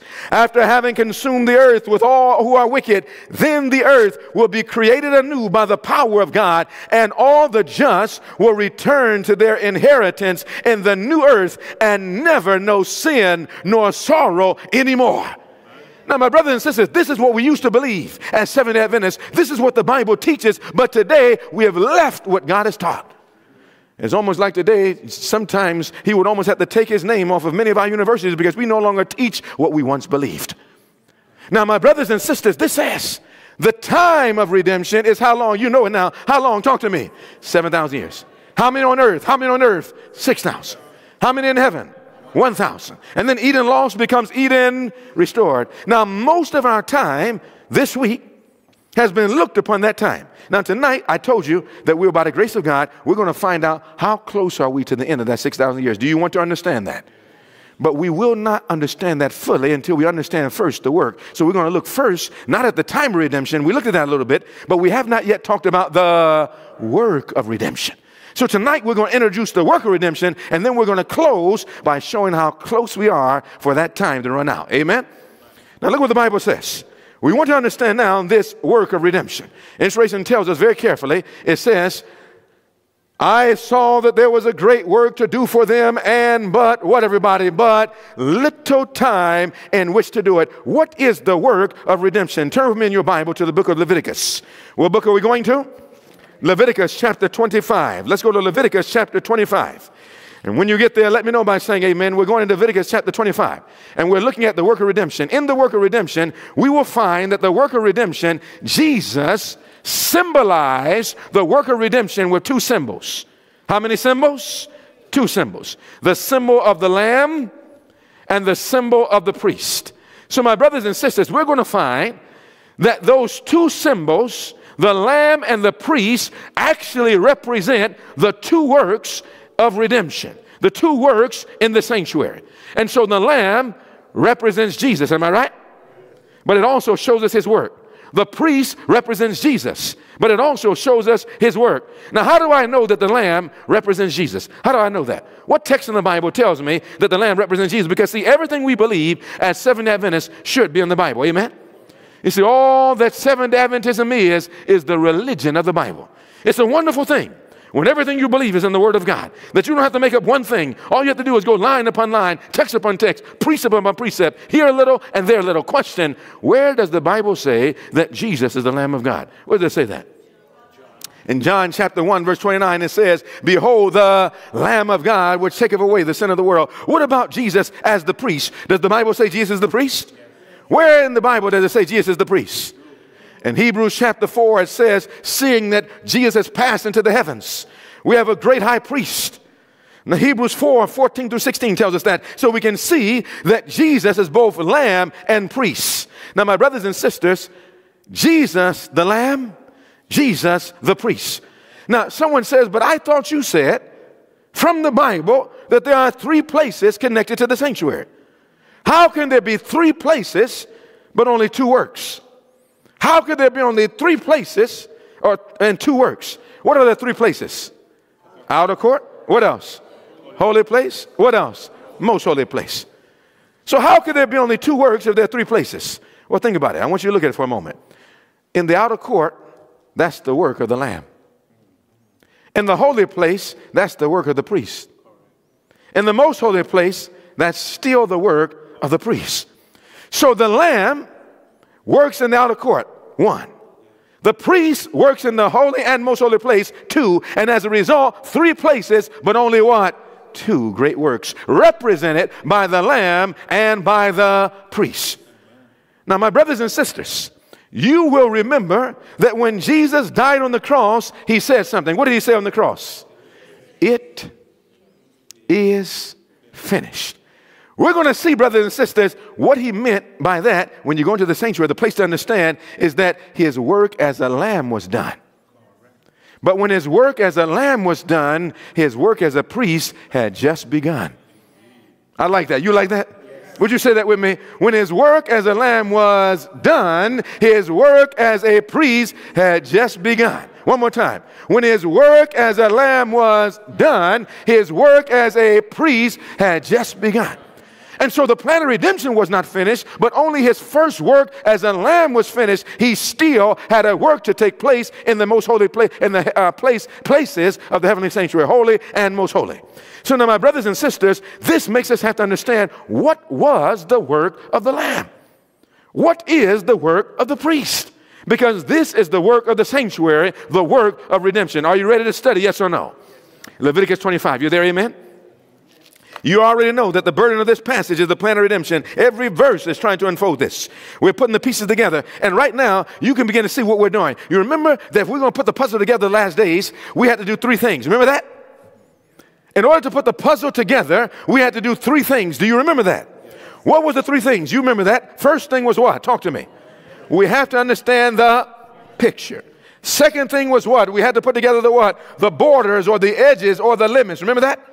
And then the third thing was, then we can put together the inside, the heart of all of it. And then all of it starts making sense. Already, we have put together the picture. We know what the picture is. What is the picture that all of coming events in the Bible is putting together? What is the picture? The plan of redemption. And that picture is displayed in the sanctuary. That's the picture. Am I right? From Genesis to Revelation. That's why you remember in Leviticus we read about the Feast of Tabernacles, but in Revelation we saw why they had palm branches in the antitype. It made sense. The picture was clear. The Bible is trying to put together the plan of redemption. Coming events is doing that. In fact, we're going to find out there's a reason for climate change, and it has to do with the Day of Atonement. You're going to see this. There's a reason why all this is happening now. But my brothers and sisters, we will never understand this unless we see how the picture is put together.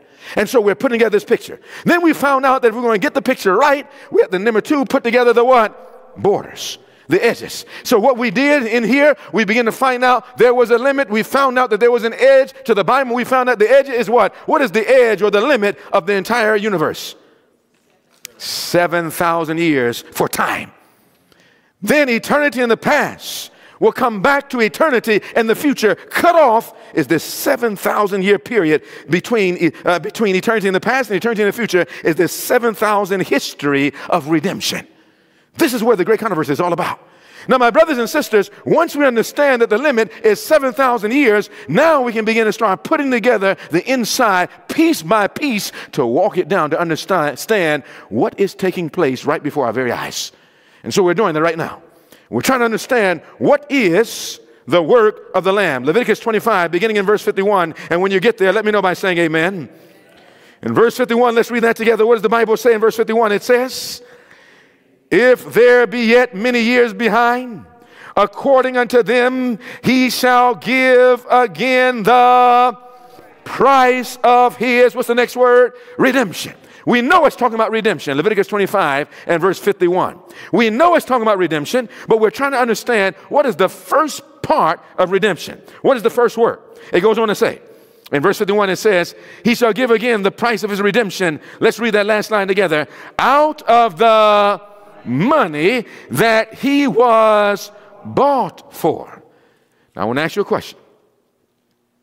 What is the first work of redemption represented by the work of the Lamb. Talk to me, somebody. What is the work of redemption? Somebody says to pay for all our sins. Does everybody agree with that? Now, I want to ask you a question. If I go to the store and I want to buy, let's say, some water, and I, I see some Aquafina, uh, uh, some type of water, and I want to buy it, and I go and I buy it, and I put the money and give it to the cashier, and I give him the money. Is it enough for me simply to pay for it? Is that enough? Or there's something more that have to take place, yes or no? We're going to find this out. So the first part, I pay for. it. That's the first part, am I right? Once I pay for it, what happens to the product that I just paid for? What happens to the product I just paid for? Now I can say it is what? It is bought. Does it make sense? So we're going to find out then that the first part of redemption is that man must be bought by Jesus paying the price for our sins. And that's exactly what happened on Calvary. Jesus paid the price for every one of our sins. That no matter how much sin we have committed, no matter how many mistakes we've made, no matter how much time a husband has messed up, or a wife has messed up, or a family has messed up, or a young person has messed up, or an adult has messed up, do you know that there's blood that has been made available at the cross of Calvary? And we can behold the Lamb of God that taketh away the sin of the world, so then that one sinner, not one sinner has to die if he comes to Jesus. Do you know this is the gospel? This is the gospel. But now, my brothers and sisters, we're going to find that this is about as far as most people get with the gospel. But that's not the end of the gospel, that's only the beginning. You see, my brothers and sisters, this is the first part. Man must be bought. And as a lamb, Jesus finished that work. And when Jesus said, It is finished, what was he saying? He was saying, It is finished. I bought the sinner. I paid the price. My work as a lamb is done because mankind has been bought, sin has been paid for. Now that work is done. Are you with me? But when his work as a lamb was done, his work as a priest had just begun. There's still something else that has to happen, and no other denomination knows this but Seventh day Adventists. Now, my brothers and sisters, this is that distinctive identity that we must understand as we go into the sanctuary now. My question tonight is what is the work of the priest? We see the work of the Lamb is that man must be bought, but what is the work of the priest? He's doing more than just buying us. Now, I want to ask you this way. Now, look at, look at this way. If I bought, if I, let's say I came in, and we're in Barrie, and I came in, they have a lot of new construction happening here. Let's say I went down one, one place and I saw a, a house that a developer had started, but he didn't finish. You know, if you let the house not finish, it can go into decay. And you can see sometimes boards there, you can see things get old, water spots, stains, things like that happen. And so you begin to start seeing it break down just a little bit. But I pass it and I look at the house and I say, you know what? That looks good. I think that I will fix this up for my family. And I go into the house. And I begin to start after work, I begin to start making nice cabinets and putting down nice tile floor. And I begin to start now painting the, the house and so forth. Can I just do that and everything's all right? Can I just start doing that? you know what happened all, all of a sudden? A man comes in. He's dressed. I don't know how they, I don't know how the policemen look here in, in Canada, but I know how they look in America. You know? He's dressed in, in, in his blue. He comes in with his boots on and he says, Sir, what are you doing here? What if I say, Well, I like the house and I just want to fix it up? It wasn't looking so good for the community, so I want to start fixing it up. He would say, You have the right to remain silent. Anything you can say and do, you will be held against you. I'm going to the I'm going to jail. You, you understand what I'm saying? Why? Because no matter how much I want to fix up a house, it is not mine to do. Do you know that, brothers and sisters, if Jesus had not died on the cross, that he could not fix and restore our lives because he would not have had the right once we chose to sin. We gave ourselves to the devil and we became the devil's. We became his. His servants you are. His servants you are to whom ye obey. And so Jesus could not just come in and just fix our life and take away sin. Jesus had to buy us back before he could begin to start restoring us. And so, my brothers and sisters, on the cross, Jesus bought us. And that brings us now to what is the second and final phase of the work of redemption. In verse 55, we see the final phase of the work of redemption. And when you get there, let me know by saying amen. Leviticus 25 and verse 55. Let's read that together. The Bible says in verse 55. Now, everybody should have their Bible. If you don't have one, please look on to someone. You want to make sure that you can read what is happening for yourself from the Bible. In verse 55, let's read that together. It says, For unto me the children of Israel are what? Servants. They are my servants, whom I not bought, but whom I what? brought forth out of the land of Egypt. I am the Lord your God. Now, is there a difference between being bought and being brought? Yes or no? What does the Bible say here? Did the Bible say in verse 55 that God has bought them? Is that what it says? What does the Bible say in verse 55? That God has what? Brought them. So we find out that the first part of redemption is that man must be bought. The second part of redemption is that man must be brought. You see, God is trying to bring us somewhere. As a lamb, he bought us. But as a priest, he must brought us, he must bring us somewhere. And my question is, where does Jesus want to bring us? Go with me in your Bible the book of Hebrews. That's right. Go to Hebrews chapter 6. What book did I say? We're going to Hebrews chapter 6. I want to show us from the Bible where Jesus wants to bring us. And the place to understand this is the sanctuary. God wants to bring us into the sanctuary, but not just anywhere. He wants to bring us into the most holy place. You see, my brothers and sisters, that means something. In order to get into the most holy place, something must happen to the heart and life of the believer on this earth. In fact, my brothers and sisters, we're going to find out that to be brought means somewhere. What does he want to bring us? Look what the prophet says. Education, page 15. Let's read this together. It says, to restore in man the image of his maker, to talk to me, somebody, bring him. Now, say that in one word. To bring him back in one word, what would you say? Brought. So the purpose of God is to bring him back or brought him back to what? The perfection in which he was created. To promote the development of body and mind and soul that the divine, purpose in his creation might be realized. Let's read this together. This was to be the work of redemption. This is the object of education, the great object of life. So the object of life is the work of redemption. And the work of redemption is to bring man back to the perfection in which he was in when God created him. I mean, think of it. Someone says, Were we perfect? When God created us, were we perfect? Yes or no? How do I know we were perfect when God created us? Because the Bible says we were made in the image of God. Am I right? Now, question Does the, does the Bible say what the prophet says? Yes or no? Look what the Bible says in Hebrews 6. God wants to bring us somewhere. Let's see where God wants to bring us. Hebrews chapter 6, beginning in verse 1. Let's read that together. Hebrews 6 and verse 1. The Bible says, let's read that together. It says, Therefore, do what? Leaving the principles of the doctrine of Christ, let us, what's the next two words? So God wants to bring us somewhere. Where does He want to bring us? It says, Let us go on where? Unto perfection not laying again the foundation of repentance from dead works and of faith toward God. Where does God want to bring us according to the Bible? Back to perfection. This is the work of redemption. Now, my brothers and sisters, someone says, well, we can never do that. I remember we were doing a meeting like this in another uh, state in, in the U.S. And there were people coming to the meeting. In fact, one man that was going to college at the time came out and he was listening to the message and he said, I've never heard before that the work of redemption was to bring me back to perfection. He said, I never even knew it was possible. He was so excited. He was a new Seven Adventist, excited. And then all of a sudden, he went to his class the next day and was talking to one of his Bible professors. And he said to his professor, he said, I was at a meeting last night and I learned the good news. I learned the good news that Jesus died for me so that he could buy me, so that I can be bought, so that he can now bring me back to perfection. And the teacher was smiling at first. Then the teacher stopped smiling and said, That's not the good news. He said, It is impossible for somebody to be brought back to perfection. He said, In fact, if you are a scholar and you study the original language, you will know that you don't even know what perfection is.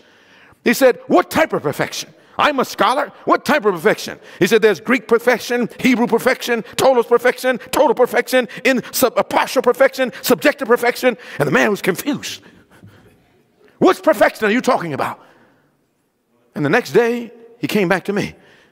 Next meeting, we're back into the sanctuary, going to the Bible. He said he was bewildered. I, I, I tried to tell my teacher, and I said, Look, you don't have to get into any fight or any confusion. All you got to do is stay close to the Word of God.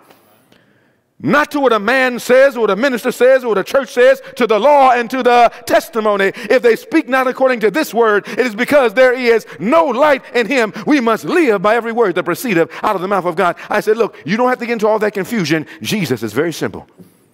Biblical perfection is what God wants to bring us back to. Don't get into Hebrew, Greek. Biblical perfection.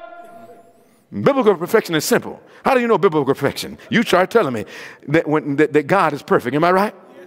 The Bible says, Be therefore perfect as your Father in heaven is perfect. And if God is perfect, then the Bible says that we were made in his image.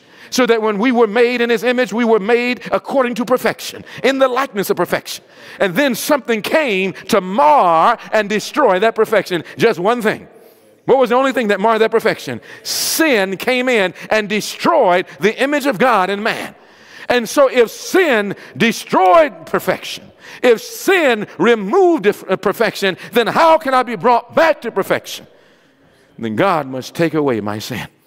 And so, biblical perfection is coming to the place where I allow Jesus to take sin out of my heart, to take sin off the books of record, to take sin from the books and the experiences of my life so that I have victory over every sin. This is biblical perfection.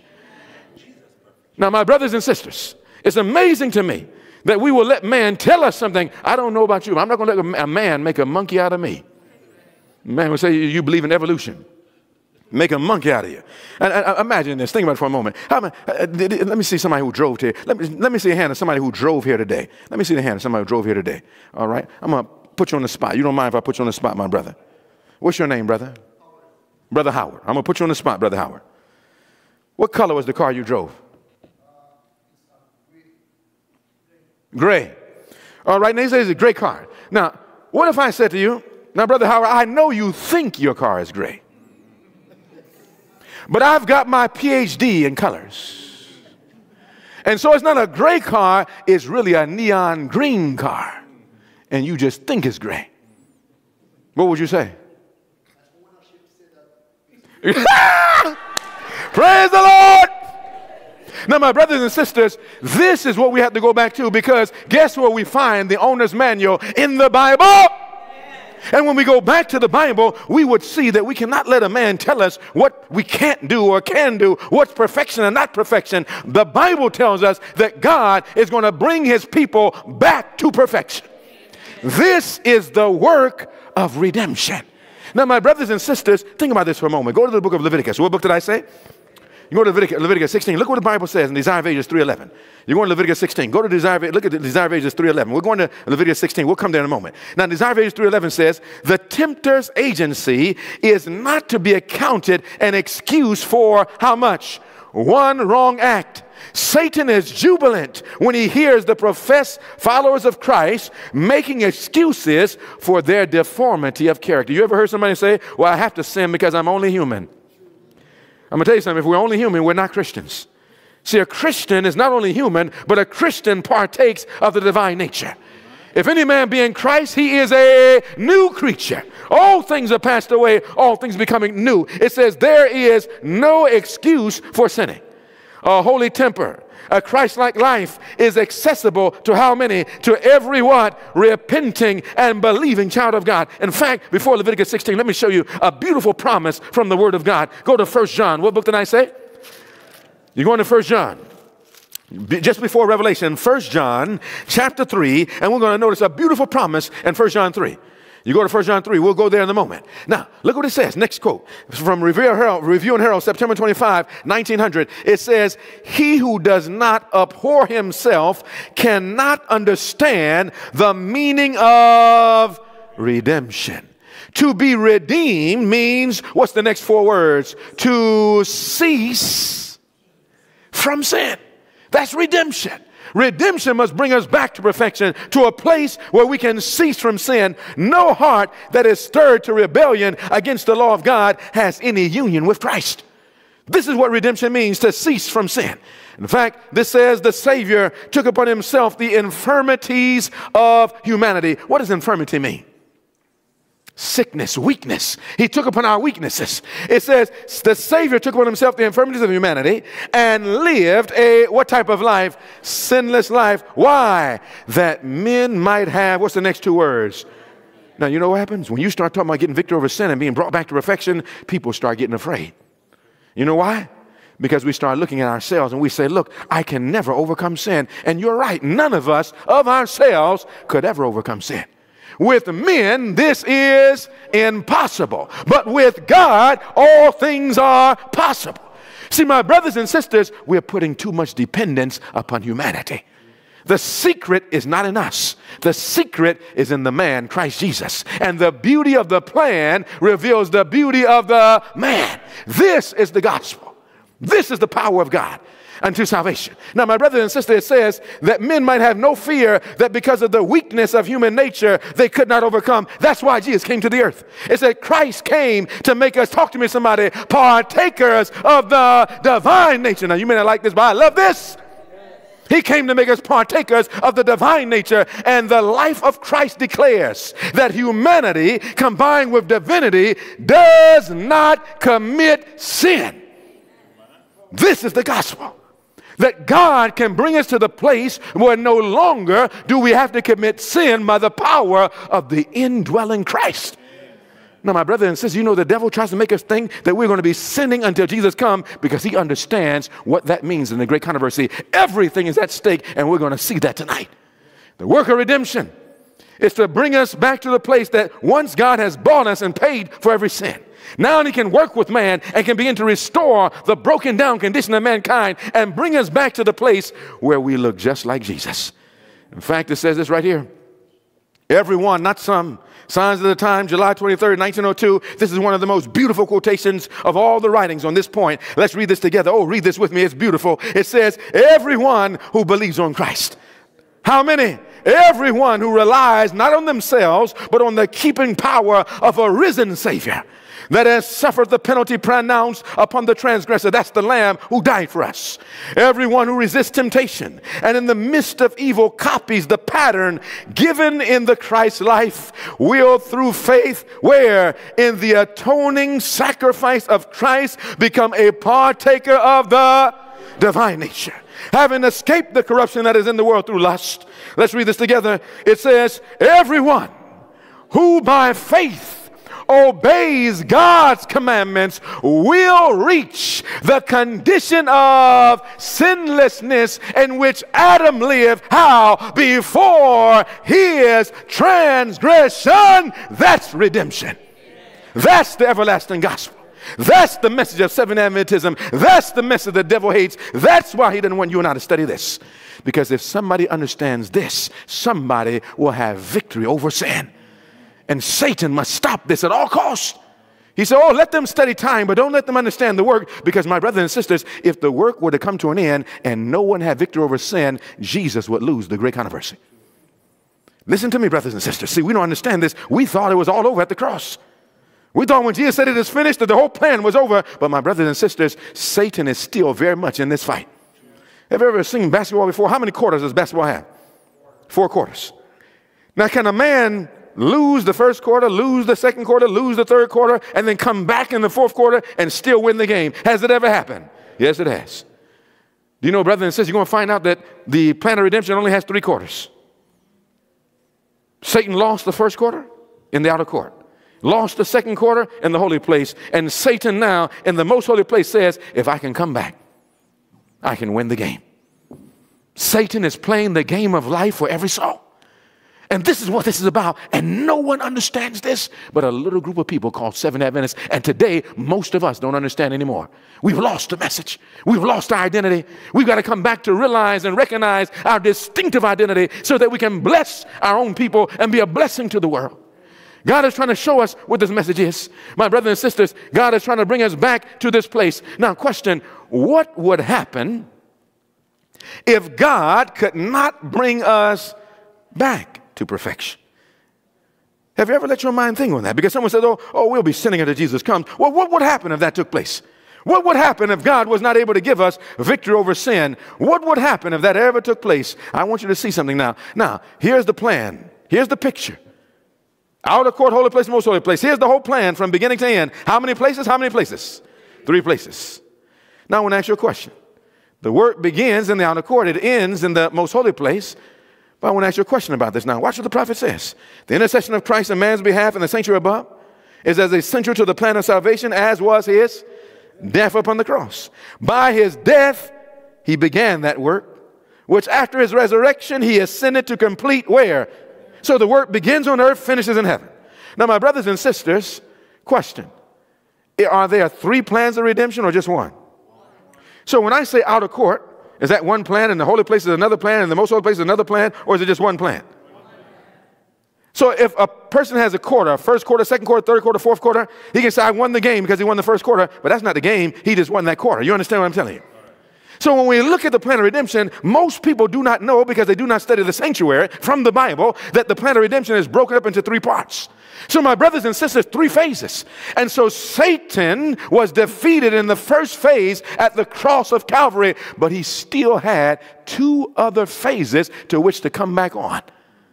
Now, if you want to know what would happen if a people were not brought back to perfection in the final phase, all you have to do is look at what would happen if Jesus would have failed in the first phase because it's the same plan. Do you understand what I'm saying? The same thing that would have happened if he failed in phase one is the same thing that would happen if he failed in phase two, which is the same thing that would happen if he failed in phase three. You understand what I'm saying? So, what would have happened if Jesus had sinned when he came to the earth? We would all be lost. That's scary. Now, I don't want to let your mind think on it long enough, but I'm going to show you something for a moment. It's, it's scary. What would have happened if Jesus had failed in phase one of the plan of redemption? Watch what the prophet says, early writing 157.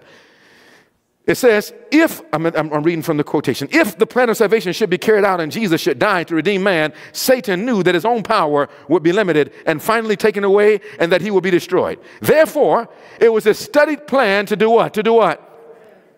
To prevent, if possible, the completion or the finishing of the great work which had been commenced by the Son of God. If the plan of man's redemption should fail, Satan would retain the kingdom which he then claimed. What, it, what kingdom did he claim? He claimed the earth. Because remember, God had given the earth to Adam, am I right? And as he gave the earth to Adam, when Satan deceived Adam, what was Adam became Satan's. And he became the God of this world. Now, my brothers and sisters, he would have claimed this home as, own, as his own, and if he should succeed, he flattered himself that he would reign in opposition to the God of heaven. He said if he could retain the earth, his next plan was to go to all the unfallen worlds and to take control of the entire universe. Now, my brothers and sisters, this says, watch now. This says in the Desire of Ages, page 690, it says, but now the history of, uh, uh, of human race comes up before the world's rim. You remember, you remember in the Garden of Gethsemane when Jesus was praying?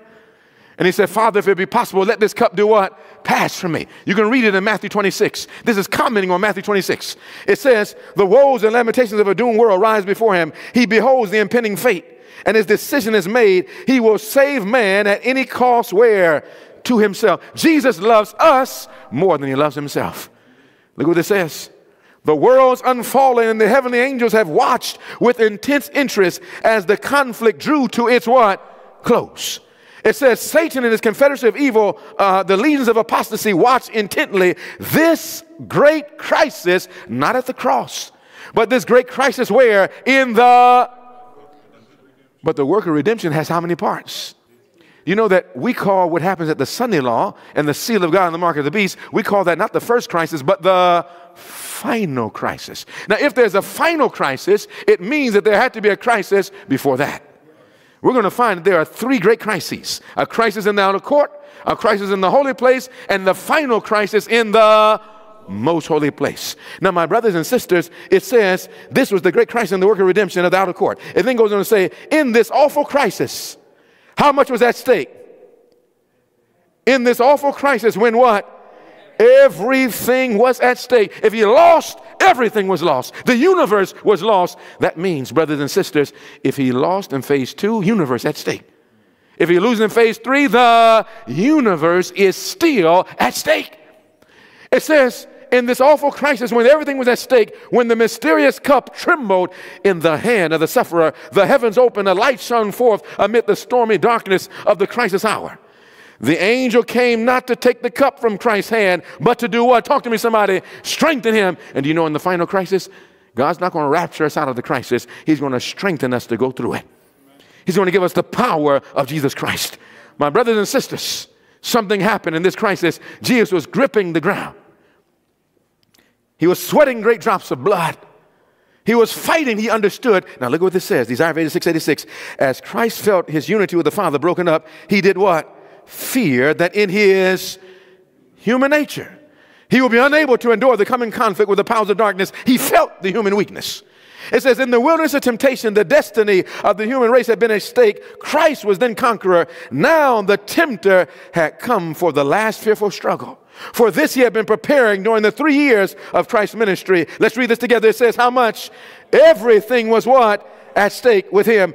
If he failed, where? Here. His hope of mastery was lost. The kingdoms of the world would finally become Christ. He himself would be overthrown and cast out. But if Christ could be what? Overcome. The earth would become Satan's kingdom. And the human race would be forever in his power. With the issues of the conflict before him, Christ's soul was filled with dread of separation from God. You see, Christ knew how much was what? At stake. Now, my brothers and sisters, and that did not stop that did not stop in phase one. Do you know that in phase three, in the most holy place, if somebody does not get victory over sin, then the universe is still at stake. Somebody has to vindicate the character of God. Somebody has to show that there's power in the blood of the Lamb. We cannot just sing about it, we must demonstrate it. We say, Would you be free from the power of sin? There is power in the blood, power in the blood. Would you over evil a victory win? There is wonderful power in the blood. We cannot just sing about it, God wants us to experience it. Now, my brothers and sisters, this is what this is about. Go to Romans, uh, 1 uh, John 3. Let me read that quote, quote. Heavenly Father, please, as we look at some final points, help us to see now as we begin to start winding down that if ever there was a time to run to Jesus, it's now so that we can develop this experience where we know you so much that we would rather die than sin. We thank you, dear Father, in Jesus' name, amen. The Bible says in 1 John chapter 3, and when you get there, let me know by saying amen. In 1 John chapter 3, look what it says beginning in verse 8. Are you there? Amen.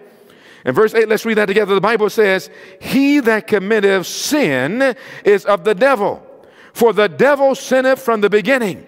For this purpose, the Son of God was what? Manifested that he might destroy the works of what? The devil. Look at the promise in verse 9.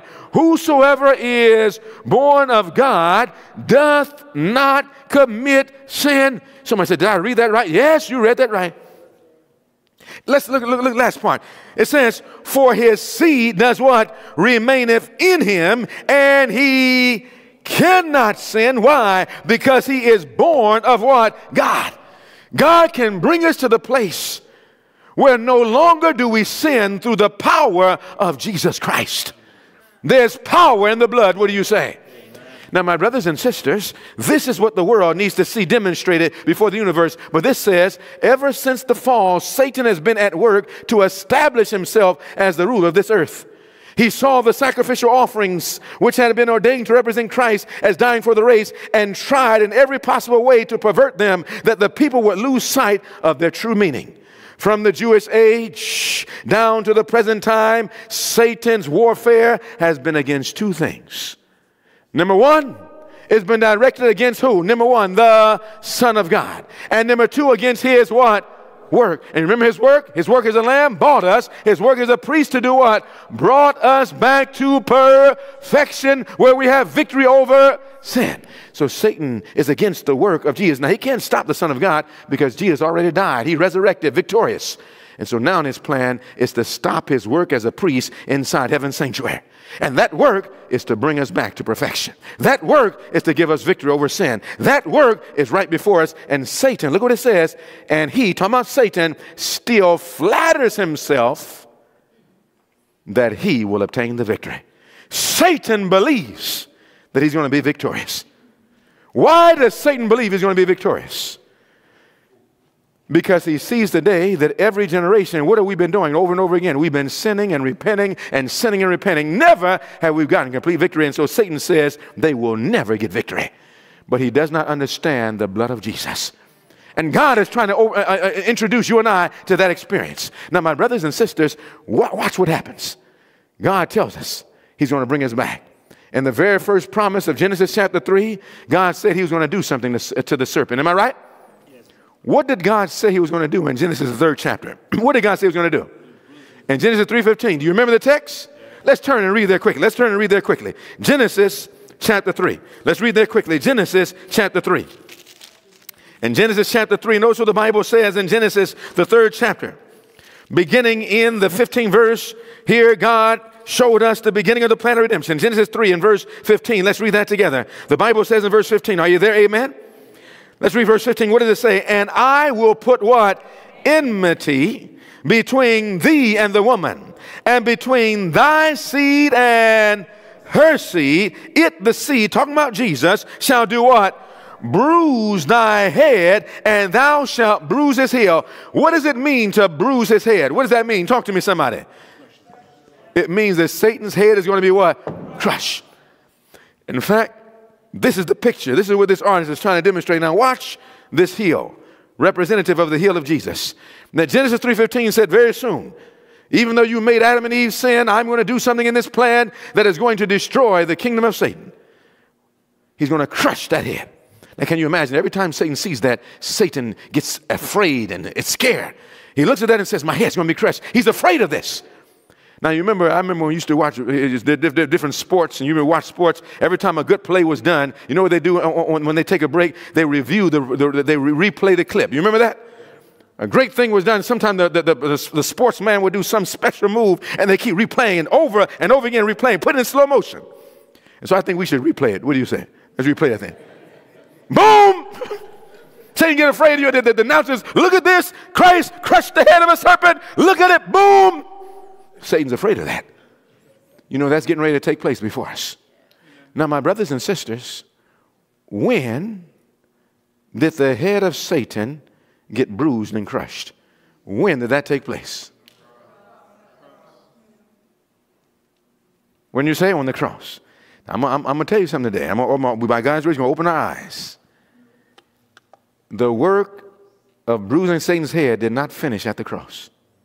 It started at the cross, but it didn't finish. Now, let me show you that from the Bible. You believe you see in the Bible, amen? Go to Romans. What book did I say? Not because I say so, but the Bible says so. Go to Romans chapter 16. Now, who, who wrote the book of Romans? Under, under divine inspiration, the Apostle Paul scribed out the book of Romans in Romans 16. Now, did the Apostle Paul come to Christ before the cross or after the cross? So, years after the cross, the Apostle Paul is writing in the book of Romans. And notice what he says in Romans 16. The Bible is unfolding the plan of redemption. Romans 16. And when you get there, let me know by saying amen.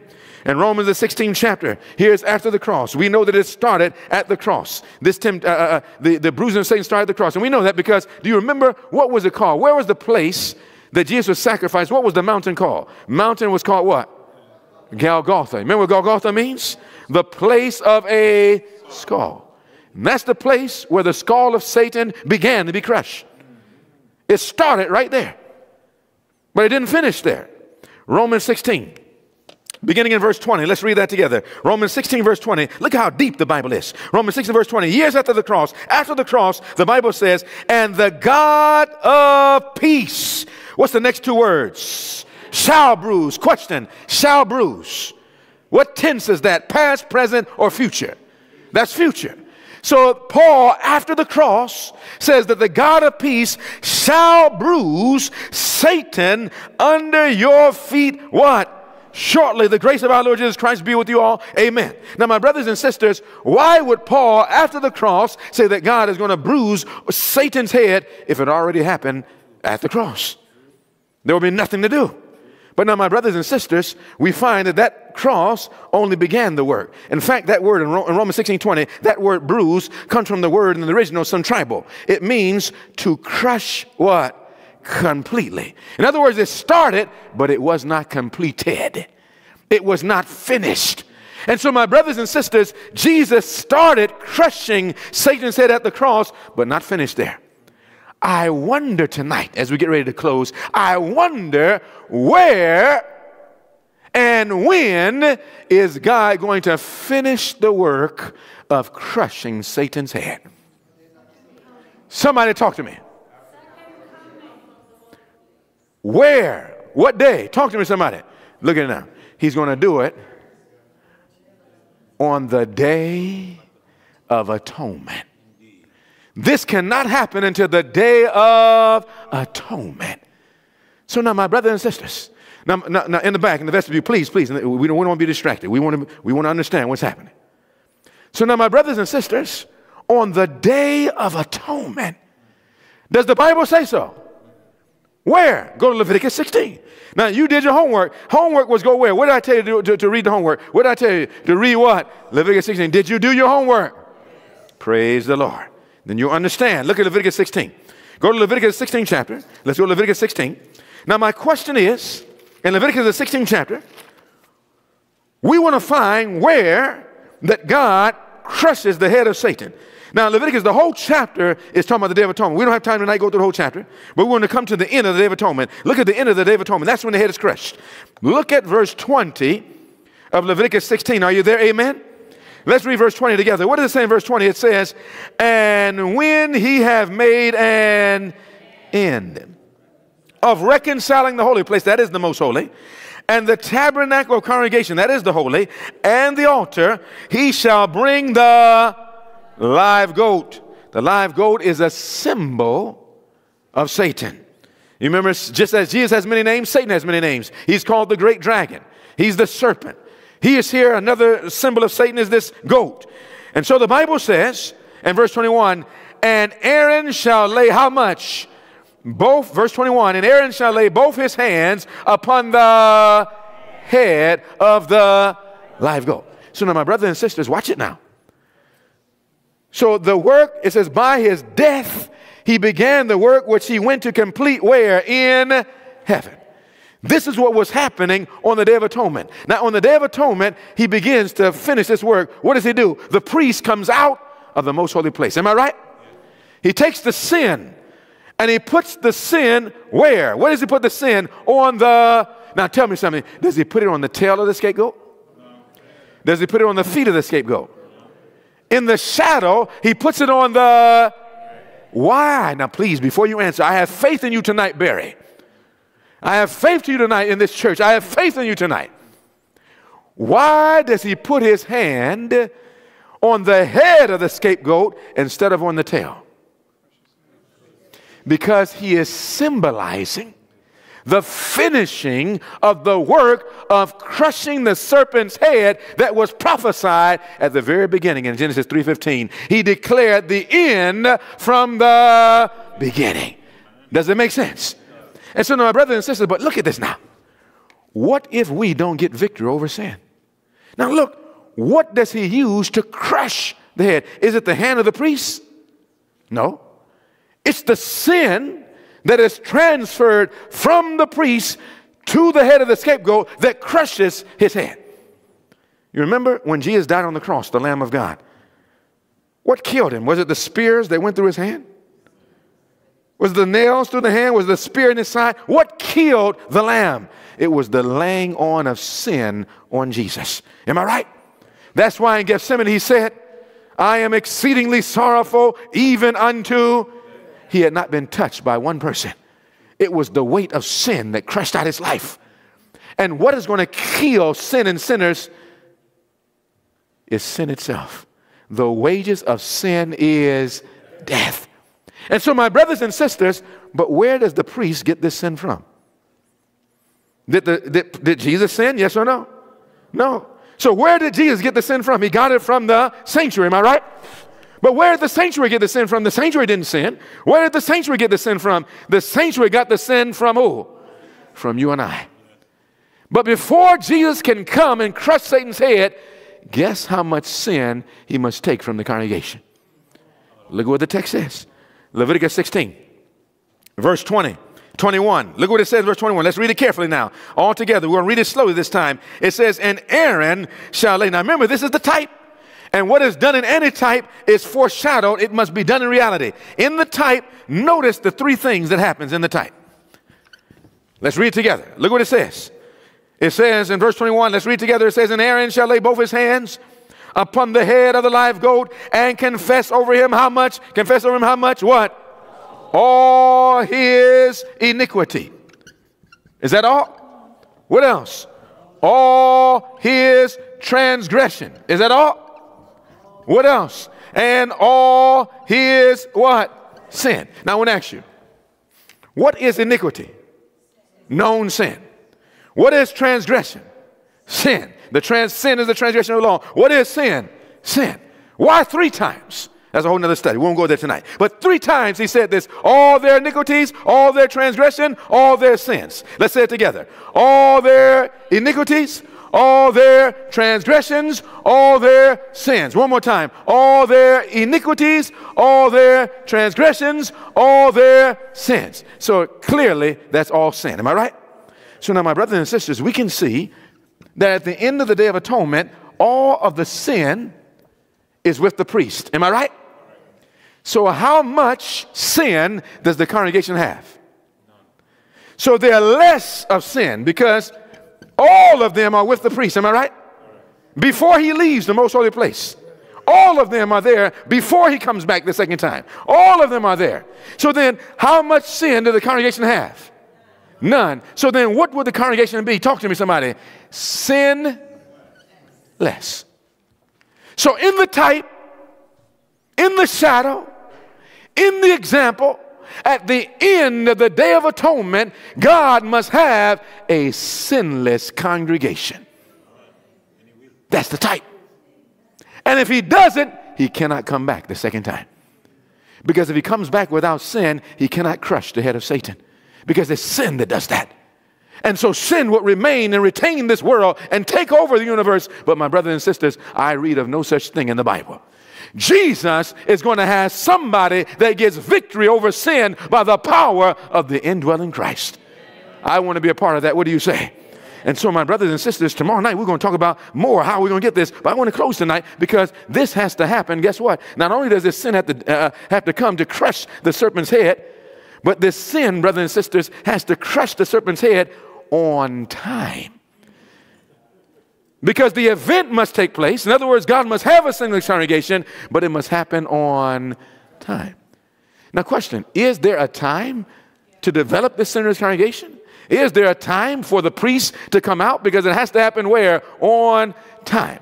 Is there a time? Yes or no? What is the time? What is the time?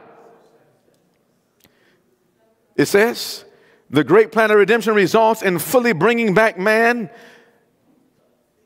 into God's favor.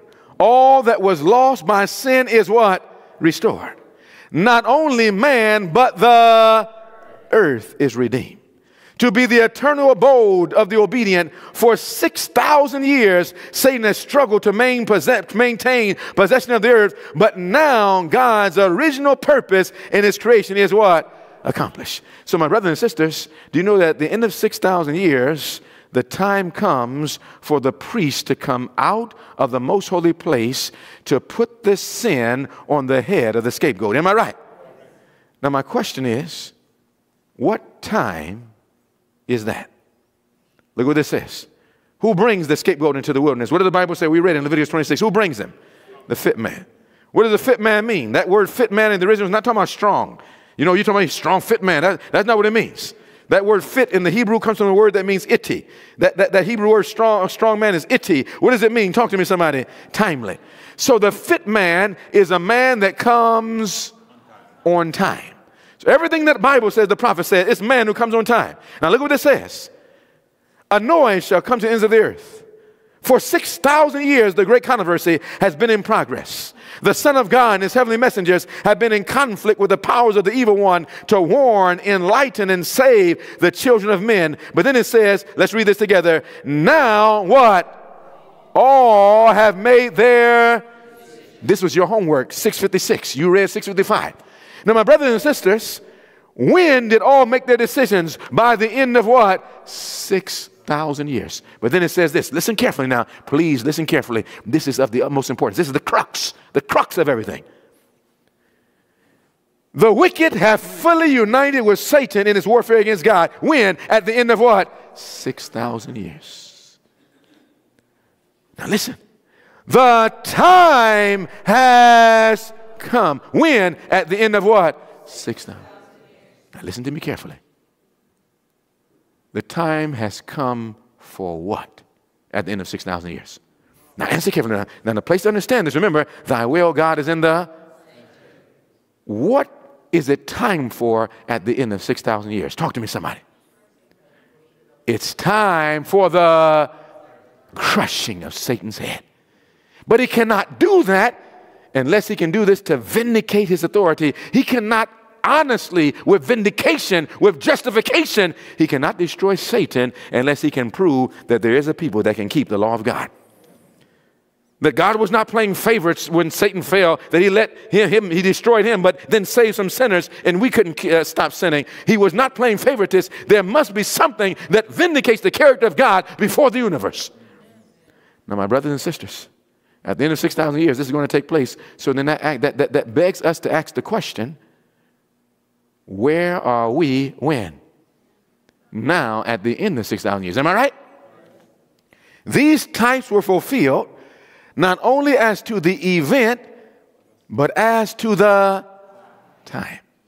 Now, my brothers and sisters, what we need to do is count up. We want to find out where are we at the end of 6,000 years. Are you ready? Now, you don't sound like you're ready. You ready? How close in 2004 are we to that 6,000 year period? Because this event not might, it has to be fulfilled at the time pointed out in the symbolic service. And remember now, the outer court represents what? Antitypical outer court represents what? Heaven or earth? The earth. The antitypical sanctuary represents heaven or earth? Heaven. So when Jesus leaves the most holy place in heaven and comes to the outer court, it is typifying Jesus coming back the second time from the most holy place. Are you following me? And this must happen at the time pointed out in the symbolic service. In like manner, the times which relate to the second event must be fulfilled at the time pointed out in the symbolic service. So it must happen on time. And the time is 6,000. And so today, we need to find out where are we in relationship to this. In 2004, excuse me, in, in 2024, how close are we to the 6,000 year limit? Is that, is, that a good, is that a good question? Yeah. Someone says very close. And we are. We want to find out how close tonight. We know we can't find out tonight. Our time is finished. I'm, we're going to come to end right here. Now, brothers and sisters, listen, this is what we're going to do. This is what we're going to do. Tomorrow night, we were able to talk about the great work of time tonight. We begin to start talking about not only the time, but now we also start introducing the what? The work. How much time for redemption? How much time? 7,000 years. 6,000 on earth, 1,000 in heaven. We know that by the end of 6,000, Jesus has to come out that most holy place. That's the limit of his time in the most holy place. And in order for him to do that, the work has to be accomplished on this earth. What is the work that has to be accomplished? First, he had to die for us. Did he die for us already? Then he had to go to heaven and begin to bring us back to perfection. Has he finished that work? If you look at you and I, you know he hasn't finished that work because still we don't look just like Jesus. I mean, somebody can cut us off on the road and some things come out of our mouths that should never come out. Somebody does something wrong to us and we, we're back and forth, the bickering that happens sometimes between husband and wife, family, parents and children. We're not yet looking just like Jesus. There are still sins that no one else knows about. It's possible for us to put on suits and look nice when we come to church. It's possible for us to sit upstairs and downstairs, preach. It's possible to do all of that and still have sin in our lives. You know, there's some people struggling with secret sins, darling sins, cherished sins. God is wanting to give us victory tonight. People struggling with pride. People struggling with getting uh, a victory over appetite. People struggling to spend time in prayer. People struggling listening to the wrong things, looking at the wrong things. People struggling with pornography. People struggling with every form of sin. But you know that in order to see Jesus, we must have victory over every sin.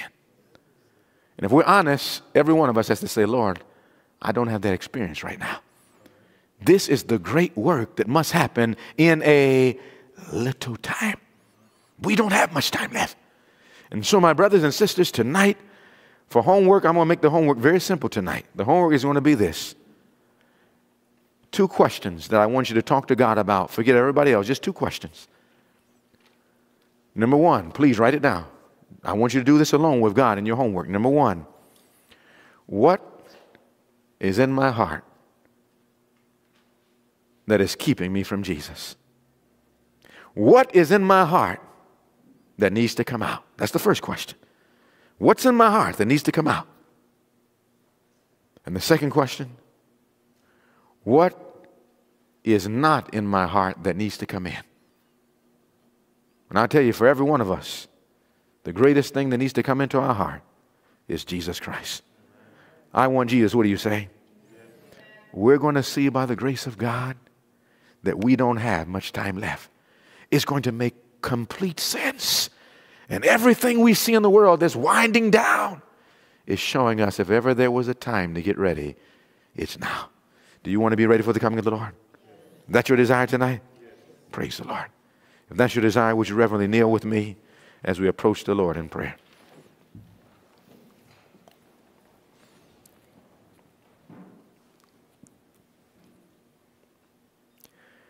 Heavenly Father, we're thankful that you have not given up on us. That, Lord, time is running out, but you are going to win this game of life. Lord, normally in the world, when sports are being played and the final seconds come down, the best persons are put on the game. The final seconds of the time, the best players are put on the court. But Lord, in this last generation, you have put the worst players on the court. The weakest generation, the most unspiritual generation. And Lord, you're going to allow the worst generation to show the greatest demonstration that the universe has ever seen. And this will give glory not to man, but this will give glory to you, for your power is able to take the weakest sinner and give us victory over every sin through the power of the indwelling Christ. You want to use us as that example. I want to pause the prayer. There's someone that says, Lord, I want to have victory over the sins of my life. I want to know you, Jesus. I want to get rid of these darling, cherished sins, and I want Jesus. Just raise your hand wherever you are. And by raising your hand, you're saying, Lord, I want your help. I don't want to leave with the same sins that I came with. I want victory. God knows what it is. He knows those secret sins. Today, this week, ask Him what's in my heart that needs to come out and what's not in that needs to come in. Father, you see our, our lifted hands. I'm lifting mine. Lord, we need Jesus. Thank you for what you've done tonight. Thank you for your power. Thank you for the gospel that shows us that man is not only to be bought by your death, but by your life, we're to be brought back into harmony with Jesus. We thank you, Father, for we ask all of this in Jesus' name. Amen. You may be seated for a silent moment of meditation.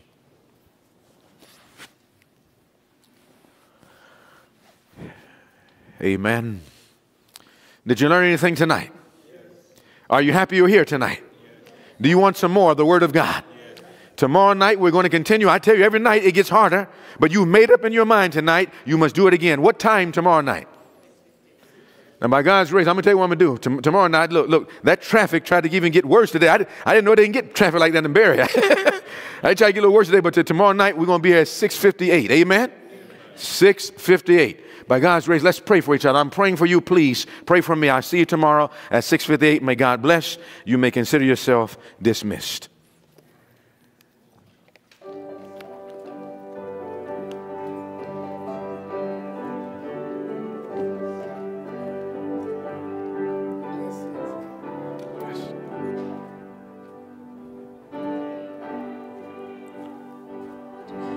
the sun.